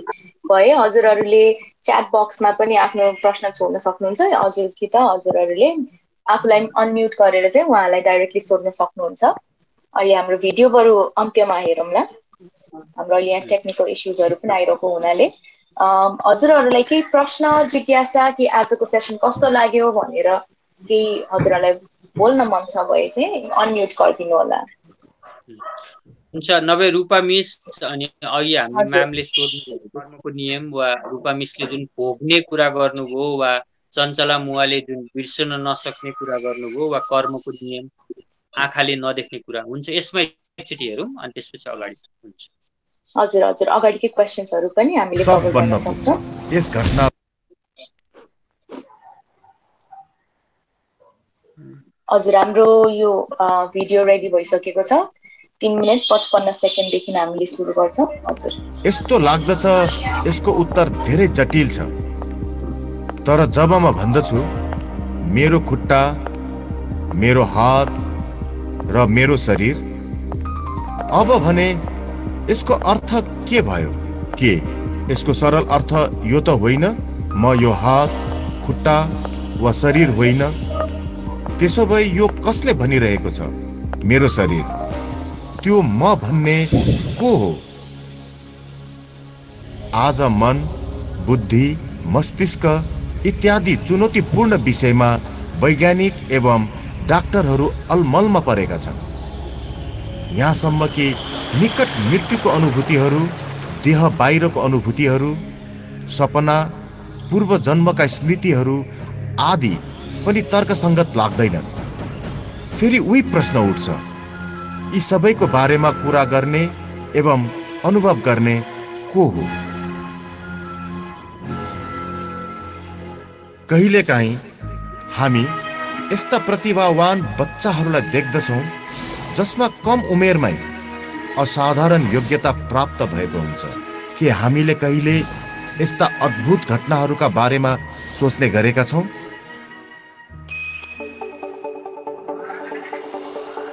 अब प्रश्न उठ्छ के शरीर मस्तिष्कका साथै आफैमा सम्पूर्ण छ? शरीरका विभिन्न अङ्गहरूलाई कसले चलाउँछ? मस्तिष्कलाई समयअनुसार सही सङ्केत दिने को हो? के शरीर विभिन्न कोशिकाहरूको समूह मात्र हो जसमा जैविक क्रियाहरू चलिरहन्छन्? तन्त्रिका प्रणालीको सञ्चालन हुनु हार्मोन्सलाई प्रभावित गर्नु रक्त सञ्चालन हुनु श्वास प्रश्वास क्रिया पाचन क्रिया आदिलाई सङ्केत कसले पठाउँछ? मृत्यु पर्यन्त शरीरको क्रिया प्रणालीहरूलाई सुचारू रूपले कसले चलाउँछ? अलिकति सोचौँ। सङ्कल्प कहाँबाट उत्पन्न हुन्छ? देहसँग त्यसको अन्त व्यवहार कसरी हुन्छ? के विचारहरूको मूल स्रोत मस्तिष्क हो? वा मस्तिष्कलाई पनि सञ्चालन गर्ने अरू नै कोही छ। सङ्कल्प भौतिक हो या पराभौतिक? परमाणु एवं अणुहरूद्वारा निर्मित यो परिवर्तनशील दुनियाँमा केही पराभौतिक चिजहरू पनि छन्। जसलाई न त कुनै माइक्रोस्कोप वा दूरबीनले देख्न सकिन्छ र न त कुनै उपकरणद्वारा नाप्न नै सकिन्छ। वास्तवमा यस्ता कुनै पनि उपकरण अहिलेसम्म न त बनेका छन् न त बनाउन नै सकिन्छ। तिनीहरूलाई पत्ता लगाउने एउटा मात्र विधि छ अन्तर्मुखी भएर गहन शान्तिमा स्थित हुनु। आउनुहोस् अब हामी एउटा अनुपम यात्रा प्रारम्भ गरौँ र स्वयंका विषयमा त्यो सनातन सत्यलाई पत्ता लगाऊ जसद्वारा म को हुँ भन्ने बारेमा पुरा ज्ञान एवं अनुभव प्राप्त हुन सकोस्। टाइम दुईदेखि चार बजीसम्म रहेछ यो म होइन म यो हुँ यिनीहरूले कार्यक्रम म एक आत्मा हुँ एक अति सूक्ष्म अविभाज्य र अविनाशी चेतन दिव्य प्रकाश बिन्दु रूप हुँ एक पराभौतिक सत्ता हुँ जबसम्म म आत्मा यो देहमा हुन्छु तबसम्म भनिन्छ यो शरीर जीवित छ। जब आत्मा शरीरबाट निस्कन्छ तब शरीर सब बन्न पुग्छ। यस घटनालाई नै मृत्यु भनिन्छ। तर फेरि पनि आत्मा त अजर अमर अविनाशी छ। त्यो सदैव जीवित छ। आत्मालाई नै प्राण भनिन्छ। आत्मा नै प्राण ऊर्जा हो। म आत्माले सोच्दछु निर्णय गर्दछु र शरीरद्वारा जानेर वा नजानिकन गरिएका सबै कर्महरूको म नै जिम्मेवार हुँ म आत्मामा नै सबै संस्कार समाहित छन् तथा ममा नै स्मृतिहरू भरिएका छन्। हो म नै आत्मा हुँ र आत्मा नै त्यो हो जो म हुँ। हामी प्राय भन्ने गर्छौँ मेरो आत्मा तिम्रो आत्मा आदि। यसको सट्टा म आत्मा यो शरीरको मालिक हुँ भन्नु उचित हुनेछ। किनकि तपाईँ आत्मा हुनुहुन्छ र जो तपाईँको हो त्यो शरीर हो। आकारमा म आत्मा अति सूक्ष्म छु म अविभाज्य छु। कुनै शस्त्रले मलाई काट्न सक्दैन आगोले मलाई जलाउन सक्दैन। हावाले मलाई उडाउन सक्दैन र पानीले मलाई भिजाउन सक्दैन। कुनै पनि भौतिक पदार्थले म आत्माको पथलाई रोक्न सक्दैन। म आत्मा अविनाशी हुँ र मेरो अस्तित्व सनातन छ। म मस्तिष्कका बीचमा भ्रिकुटीको मध्य भागमा स्थित छु। यही विराजमान भएर म आत्माले शरीरका सबै इन्द्रियहरूलाई मस्तिष्कद्वारा सञ्चालन गर्दछु। म सूक्ष्म प्रकाश पुञ्जमा नै अनगिन्ती प्रक्रियाहरू चलिरहन्छन्। ममा नै देहका विभिन्न अङ्गहरूको सञ्चालन मानसिक चिन्तनदेखि लिएर आफ्नो भविष्यको भाग्य निर्धारणसम्मका कुरा समावेश भएका हुन्छन्। म आत्मा स्वत नै यो जान्दछु कि मेरो शरीरका लागि के ठिक र के बेठिक छ। तर त्यो ज्ञानलाई कसरी प्राप्त गरौँ यो मैले बिर्सिसकेँ।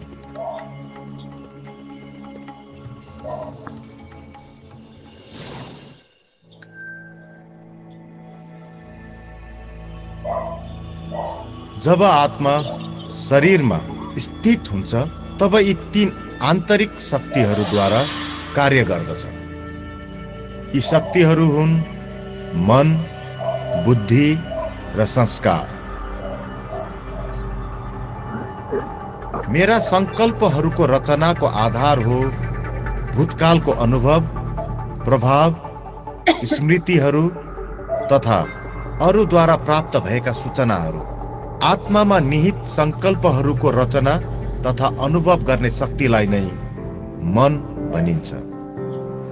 कहिलेकाहीँ यस्ता विचार मनमा प्रकट हुन्छन् जसबारे हामीलाई थाहा हुँदैन र ती विचारहरू निरन्तर चलि नै रहन्छन्। यो कसरी हुन्छ? यसको कारण हो अवचेतन मनमा सञ्चित रहेका पूर्व कर्महरूका सुसुप्त स्मृतिहरू। मनमा उठ्ने सङ्कल्पहरूका स्वरूप जस्तो पनि हुन सक्छन्। जसरी राम्रो वा नराम्रो समर्थ वा व्यर्थ सकारात्मक वा नकारात्मक सङ्कल्प एक विचार पनि हुन सक्छ। प्राय गरी सङ्कल्पले हामीलाई केही गर्ने निर्देश दिइरहेको हुन्छ। यो गरौँ वा नगरौँ? अहिले गरौँ वा पछि गरौँ? यो राम्रो हो वा नराम्रो? आदि विषयको निर्णय म आत्माले लिने गर्दछु। सङ्कल्पहरूलाई निरीक्षण गर्ने तथा निर्णय गर्ने आत्माको यस क्षमतालाई नै बुद्धि भनिन्छ। म आत्मा निर्णयका आधारमा कर्म गर्दछु। कर्मले आत्मामा आफ्नो छाप छोड्दछ। फेरि त्यसको प्रभाव विचार शैलीमा पर्दछ। यसैलाई संस्कार भनिन्छ। हुन्छ स्टप गरिदिनु भयो हुन्छ मैले जे कुरा हजुरलाई एक्सप्लेन गरेँ त्यो भिडियोमा छ। नभए लिङ्क पठाइदिन्छु फेरि तपाईँहरू दोहोऱ्याएर हेर्नुभयो हुन्छ। हुन्छ अब हामी जिज्ञासातिर लागौँ र यो एकदम गहन विषयहरू छ। आजको आजै एक घन्टा आधी घन्टाले बुझिन्न। यसलाई बहुत कालको अभ्यास भनेर भनिन्छ। मैले जे कुरा हजुरलाई भने त्यो तपाईँको मनले सुनेको छ। अब त्यो मनले अहिले भने जस्तै बुद्धिले निर्णय गर्छ। तपाईँलाई एकदम भित्रैसम्म मनमा टच भएको छ भने वा तपाईँलाई खोजी छ भने तपाईँको आत्माले यो कुरातिर जिज्ञासा अगाडि बढ्छ। तर तपाईँलाई पुरानो विचारहरूले तानिएको छ कसैको प्रभावमा अभावमा दबावमा ए फलानु त यस्तो हो भन्ने आधारमा तपाईँको छ भने तपाईँले सही निर्णय गर्न सक्नुहुन्न। त्यही भएर तपाईँले आफैले आफूलाई सोध्नु पर्यो के साँच्चै म जीवनमा शान्ति सुख आनन्द चाहन्छु भने यो नखोजिकन मैले अरू कुरामा गाडी बङ्गला घर पैसा भोलि करोडौँ रुपियाँ होला ब्याङ्क ब्यालेन्स होला ब्रान्डी हस्पिटलमा भर्ना होला तर भर्ना हुँदैमा तपाईँले स्वास्थ्य त पाउने होइन शरीरको उपचार हुन्छ तर आत्माको त उपचार हुँदैन। आत्मा भन्ने कुरा त ज्ञानले हुन्छ। त्यही भएर अब यो ज्ञानको खोजी तपाईँहरूको हातमा छ यति कुरा मैले राखेँ। र अघि सृजना दिदीले भन्नुभएको संस्कारको कुरा जन्मको कुरा हजुरलाई इच्छा छ भने म पर्सनली हजुरलाई फोनमा गाइड गरौँला। रूपा मुवा चञ्चला मुवालाई पनि नभए हामी अरू यात्रामा अगाडि बढौँ। यसको सानो दुई चार दिनको अरू कोर्सहरू छ जस्तै तपाईँ को हो तपाईँको जन्म मरणको चक्र तपाईँलाई केले चलाइरहेछ भन्ने कुरा तर आज सबै कुरा समेट्न सकिएन। हजुरलाई इच्छुक छ भने म फोनबाट गाइड गरिदिउँला हुन्छ अब अरू केही प्रश्न उत्तर छ भने हामी दोहोरो कुराकानीमा जाउँला। हुन्छ। हस् धन्यवाद। दुमन्ती हजुरले हजुर। अब हामीले दस पन्ध्र मिनट जति केही प्रश्न कि जिज्ञासाहरू कि त उहाँ हाम्रो आजको स्पिकर चन्दन सरसँग केही कुराकानी गर्न चाहनुहुन्छ भए दसदेखि पन्ध्र मिनटसम्म हामी फ्लोर दिन्छौँ हजुरहरूलाई। यो एउटा सानो डिस्कसन अलिक इन्टरेक्टिभ खालको प्लेटफर्म पनि रहेको छ। सो हजुरहरूले अनम्युट गर्न सक्नुहुन्छ हजुरहरूले आफूलाई र यो छलफलको एउटा हिस्सा गर्न सक्नुहुन्छ।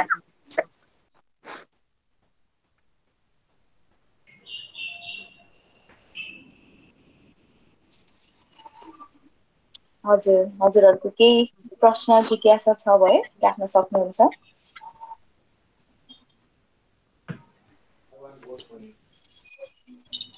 हजुर सुशीला मिस हुनुहुन्छ। केही भन्न चाहनुहुन्छ सोध्न चाहनुहुन्छ कि?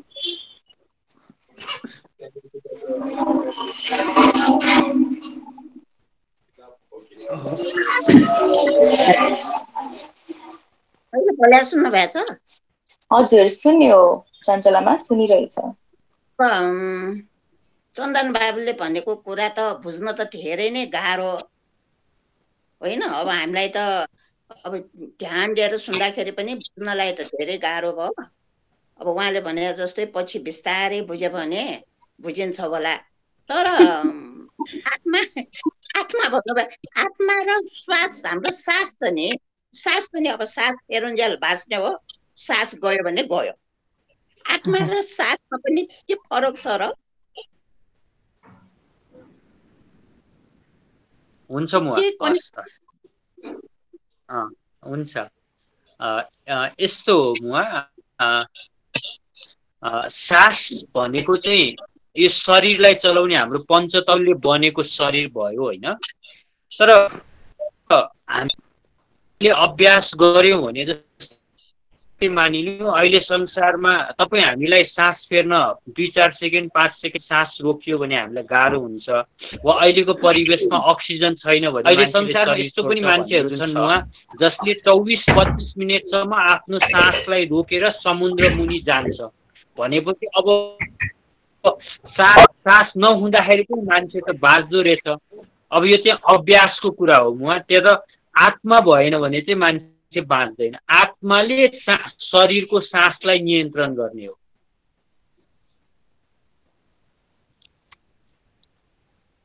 भोइस रोकियो कि हजुरको उता ब्रेक भएको? हो? सास भएन भने चाहिँ मान्छे प्यारालाइसिस हुन्छ केही हुन्छ तर आत्माले शरीरमा रहुन्जेलसम्म त्यो आत्माले प्यारालाइसिस भए पनि त्यो शरीरमा भोग्नु पर्ने हुन्छ। जुन अघि रूपा मुवाले भन्नुभयो नि भोग्ने भन्ने कुरा भन्नुभयो। भोग्ने भन्ने कुरा चाहिँ दुःख पीडा भयो मैले शरीर हो भन्ने सम्झे भने हामीले भोग्नु पर्ने हुन्छ। तर मैले शरीरमा बसेर मेरो भूमिका खेलिरहेको छु। जस्तै चञ्चला मुवा त्यहाँ हुनुहुन्छ। म नातिको हजुर मुवा हो भन्ने भूमिका म आत्माद्वारा खेलिरहेको छु भन्यो भने चाहिँ अब दुःख हुँदैन। जस्तै हजुरले अघि दस बाह्र वर्ष अगाडिको कुरा बिर्सिन गाह्रो भयो नि त। किन गाह्रो भन्दा म आमालाई यस्तो भनेको म साथीलाई यस्तो भनेको भनेर शरीरमा रहेको जुन पहिचान छ त्यो तपाईँ आफूलाई म भन्ने जुन अहङ्कारमा गाँजिएको भएर त्यो बिर्सिन नसकेको हो। तर उसको काम हो के त भन्दाखेरि उसको काम हो गाली गर्ने तर मैले गाली लिनु उसको काम हो नराम्रो व्यवहार गर्ने उसको भूमिका नै नराम्रो छ।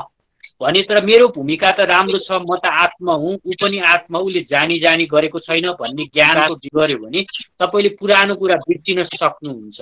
अब यो नै लामो समयको अभ्यास हो।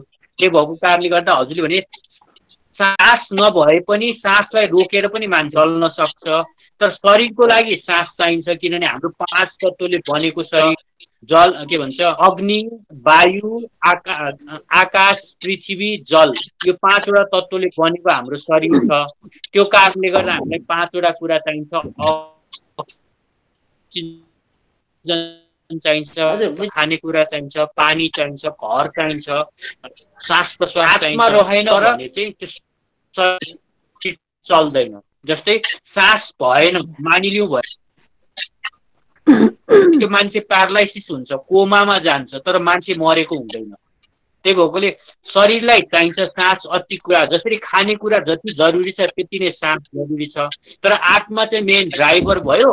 सास भनेको चाहिँ जस्तै स गाडीमा राख्ने पेट्रोल भने जस्तै यसरी लिन सक्नु भने हजुरलाई सजिलो हुन्छ म। सासलाई चलाउने आत्मा हो। चन्दनजी नमस्ते सबैलाई नमस्ते। हजुर हजुर। त्यसो भएपछि यहाँ चञ्चलाजीले भने जस्तै सबैले फिल गर्छ कसैले भन्छ कसैले भन्दैन। तर कसैको आत्मालाई चोट लाग्ने गरी भन्ने कसैको आत्मालाई रुवाउने मैले यो गर्दा यसलाई दुःख हुन्छ भनेर जानी जानी पनि दुःख दिने त्यो चाहिँ आत्माले नमानेपछि चाहिँ नहुने नै रहेछ।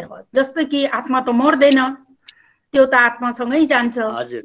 अनि यो संसारको नियम चाहिँ कस्तो छ भन्दा कसैले कसैको खुसी देख्नु नसक्ने कसैलाई चोट पुर्याउँदा खुसी हुने यस्तो काम कसैले जानी जानी गर्छ। कसैको धन सम्पत्ति लगिदिने कसैको नाता गोता तोडिदिने कसैलाई नराम्रो भइरहेछ भनेदेखि एकदम खुसी हुने राम्रो कुरामा खुसी हुने नराम्रो देख्दा एकदमै खुसी हुने। त्यो त सबै ह्युमन बिङले सबै सलले बुझिरहेको हुन्छ नि त। बुझ्दा बुझ्दै पनि केही पनि भन्नु नसक्ने केही पनि गर्नु नसक्ने स्थिति र परिस्थिति पनि आउँछ। त्यो चाहिँ सबैलाई नै आउँछ। र कसैले भन्छन् कसैले भन्दैनन् कसैले मुटुभित्र एकदम आत्मामा गाँसेरै राखेको हुन्छ त्यो चिज हामीले भुल्नै सक्दैन। जस्तो तपाईँले भन्नुभयो अघि पनि हामीलाई सुनाउनु भयो देखाउनु भयो यो हड्डी र छाला मात्रै भए त हामीलाई केही महसुसै नहुने। तर हाम्रो भित्र पनि आत्मा छ। हामी पनि यो यो संसारमा कोही आमा भएर बस्नु परेको छ। कोही बहिनी भएर बस्नु परेछ कोही दिदी भएर बस्नु परेछ कोही आमाजु भएर बस्नु परेछ कोही जेठानी दिदी भएर बस्नु परेछ सासु भएर बस्नु परेको छ कोही सौता भएर बस्नु परेको छ। र यो सबैतिरको जति पनि घुमिफिरी मान्छेले जानी जानी दिएको दुःख चाहिँ आत्माले चाहिँ कहिले पनि नमान्ने रहेछ भनेर चाहिँ यो सेसनबाट थाहा भयो। यो जति पनि हामीले आत्माले नै जिताएर हजुर भन्नुहोस्।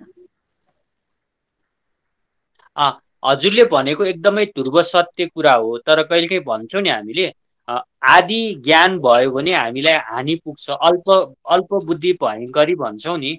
हजुरले भन्नुभएको एउटा सत्यबाट यो सबै कुरा शाश्वत सत्य हो।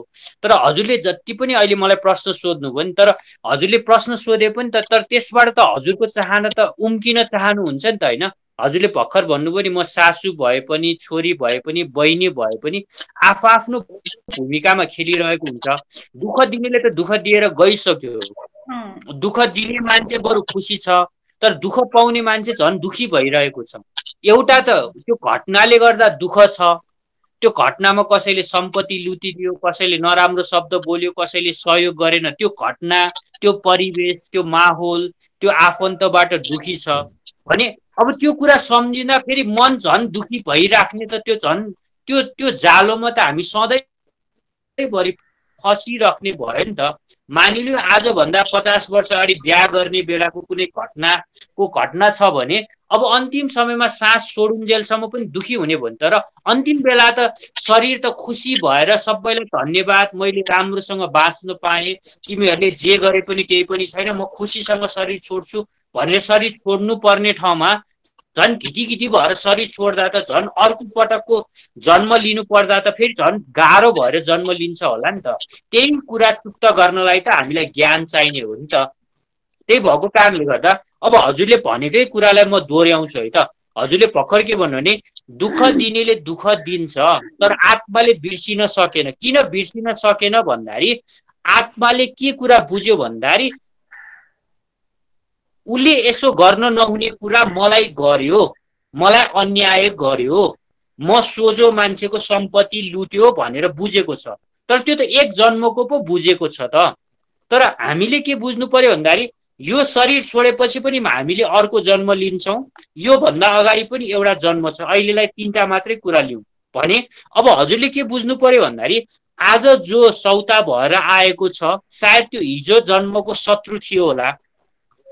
आज कोही टाढाको मान्छे छ छोरा जस्तै आएर सहयोग गर्न आएको थियो। हिजोको छोरा थियो होला तपाईँले उसलाई सहयोग गर्नुभएको थियो। त्यही भएर ऊ आज आइपुगेको छ।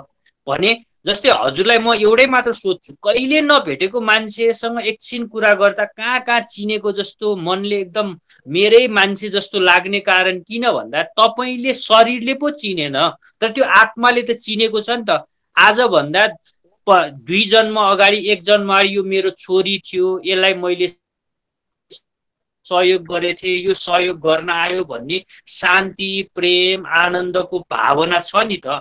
तर जो मान्छेले आज सम्पत्ति लिएर गयो उसँग त घृणा नफरत बदला यो भाव छ नि त। त्यही भएर हामीले बुझ्नुपर्ने के भन्दाखेरि बदलाको भावना भनेको चाहिँ शरीर सम्झेपछि आउँछ। तर प्रेम माया सद्भाव भनेको चाहिँ आत्मा सम्झेपछि आउँछ। भनेपछि अब हजुरले भने जस्तै कोही मान्छेलाई मैले सहयोग गर्न सकेन म लाचारी छु ठिक छ। तर शरीर पो लाचारी भयो हात खुट्टा चलेको छैन। तर मन त चलेको छ नि त। मनले उसलाई शुभ भावना शुभकामना दिने प्रयास गर्नुपर्छ। दुईटा तरिकाले। एउटा कुरा यस जन्ममा तिमीले मेरो सम्पत्ति ल्याउँथ्यौ जे गर्यो मेरो केही पनि भन्नु छैन। सायद मैले पनि तिमीलाई कुनै जन्ममा दुःख दिएको थिएँ होला त्यही भएर तिमीले मेरो सम्पत्ति लियौ। जस्तै मानिलिउ त्यो मान्छेले तपाईँसँग पचास हजार लुटेर लग्यो तर तपाईँसँग एक लाख छ भने एक लाख किन लगेन भन्दाखेरि उसको लुट्ने भाग पचास हजार मात्रै हो। त्यो मान्छे तपाईँ अहिले साठी वर्ष भएर बाँच्नु भएको छ तर अफिसमा आजभन्दा तिस वर्ष अगाडि दुःख दिने मान्छे तिस वर्षसम्म किन रह्यो त?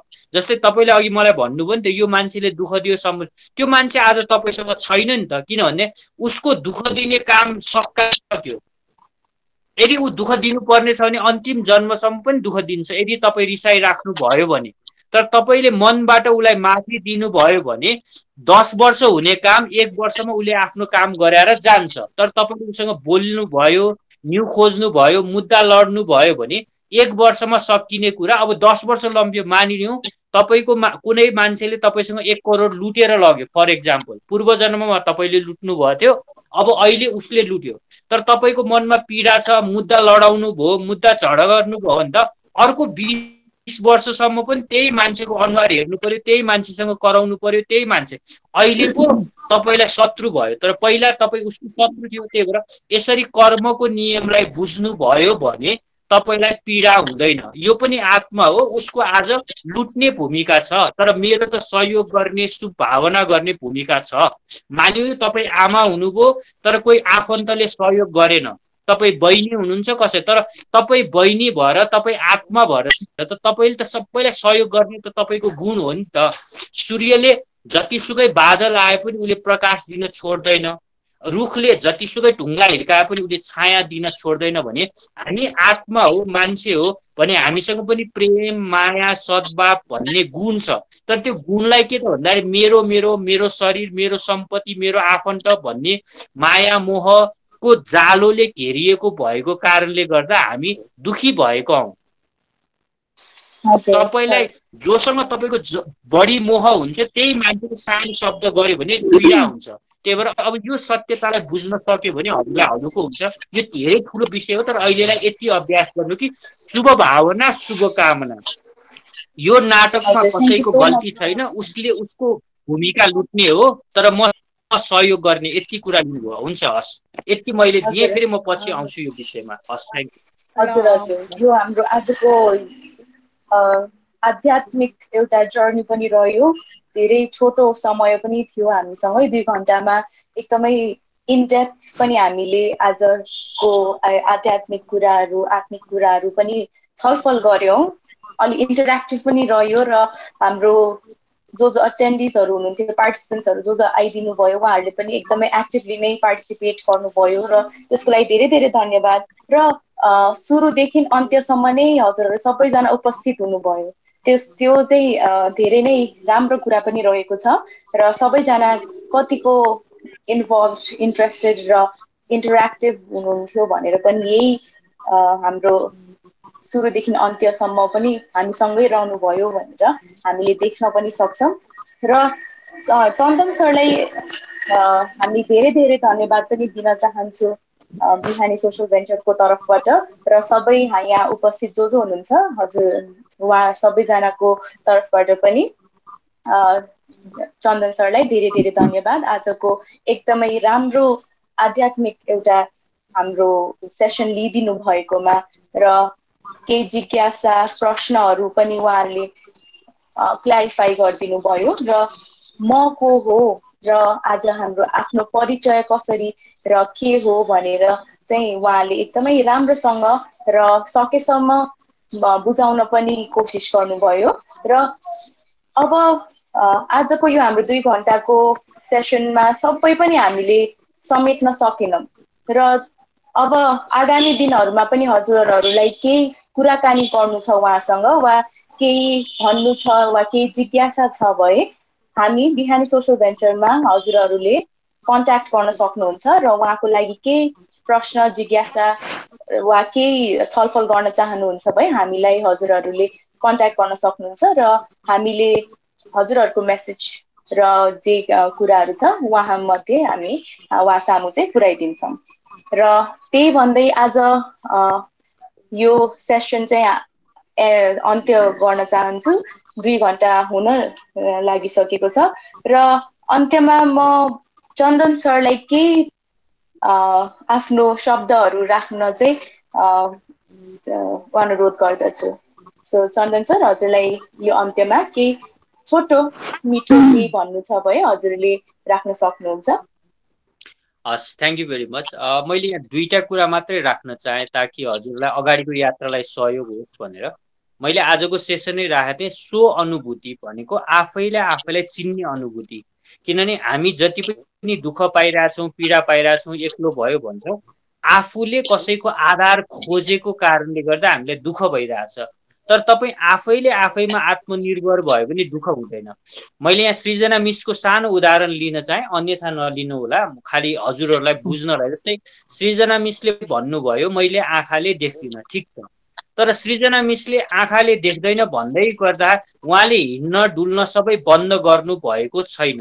उहाँले लट्ठीको सहायताले हुन्छ कि वा आफूले कसैलाई फोन गरेर बोलाएर हुन्छ कि उहाँ आफैले आफैमा आत्मनिर्भर भएर आफ्नो ठाउँमा जाने आउने कामहरू गर्नुहुन्छ सृजनाजीले भने त्यो आफैले आफैमा आत्मनिर्भर भएसम्म उहाँलाई कहिले पनि दुःख हुँदैन। त्यस्तै हामी आत्मा पनि आफ्नो आफूसँग रहेको शान्ति प्रेम आनन्द भन्ने जुन खजाना गुण शक्ति छ त्यो कुरालाई महसुस गर्ने शान्तमा रहने र पुरानो पुरानो कुराहरू अघि जति पनि सम नम्रता म्यामले राख्नु भएको छ यसमा दुईटा कुरा हजुरले आजबाट अभ्यास गर्नु होला एउटा कुरा चाहिँ कर्म अकर्म विकर्म भन्ने तिनवटा कुरा हुन्छ। कर्मको नियम भनेको मतलब तपाईँले कसैसँग मोह राखेर गर्नुभयो भने त्यो कर्मको मोहमा जान्छ। तर तपाईँले निस्वार्थ भएर कर्म गर्नुभयो भने त्यो मोहमा तपाईँ जानुहुन्न।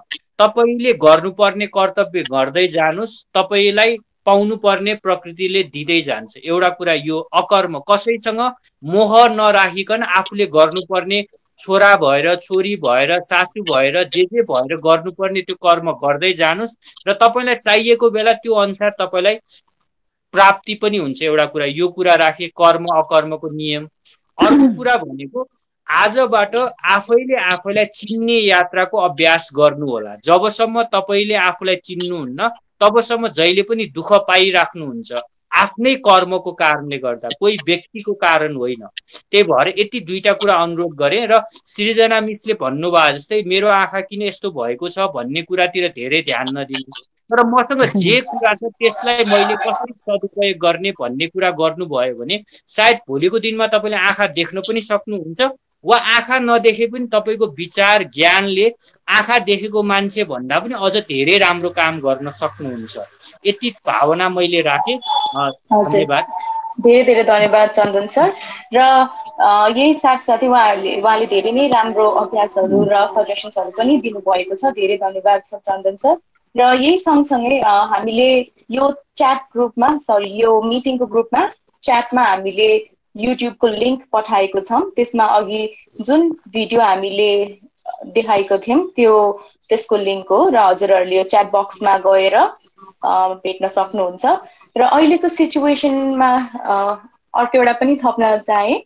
हजुरहरू सबैजना राम्ररी पनि बस्नु होला घरमा र मानसिक धेरै पनि तनाव नलिनु होला र सबैजना खुसी र पोजिटिभ थट्सहरूसँग अगाडि बढ्नु होला भनेर आज यो सेसन एउटा पोजिटिभ थटमा नै एन्ड गर्नु होला।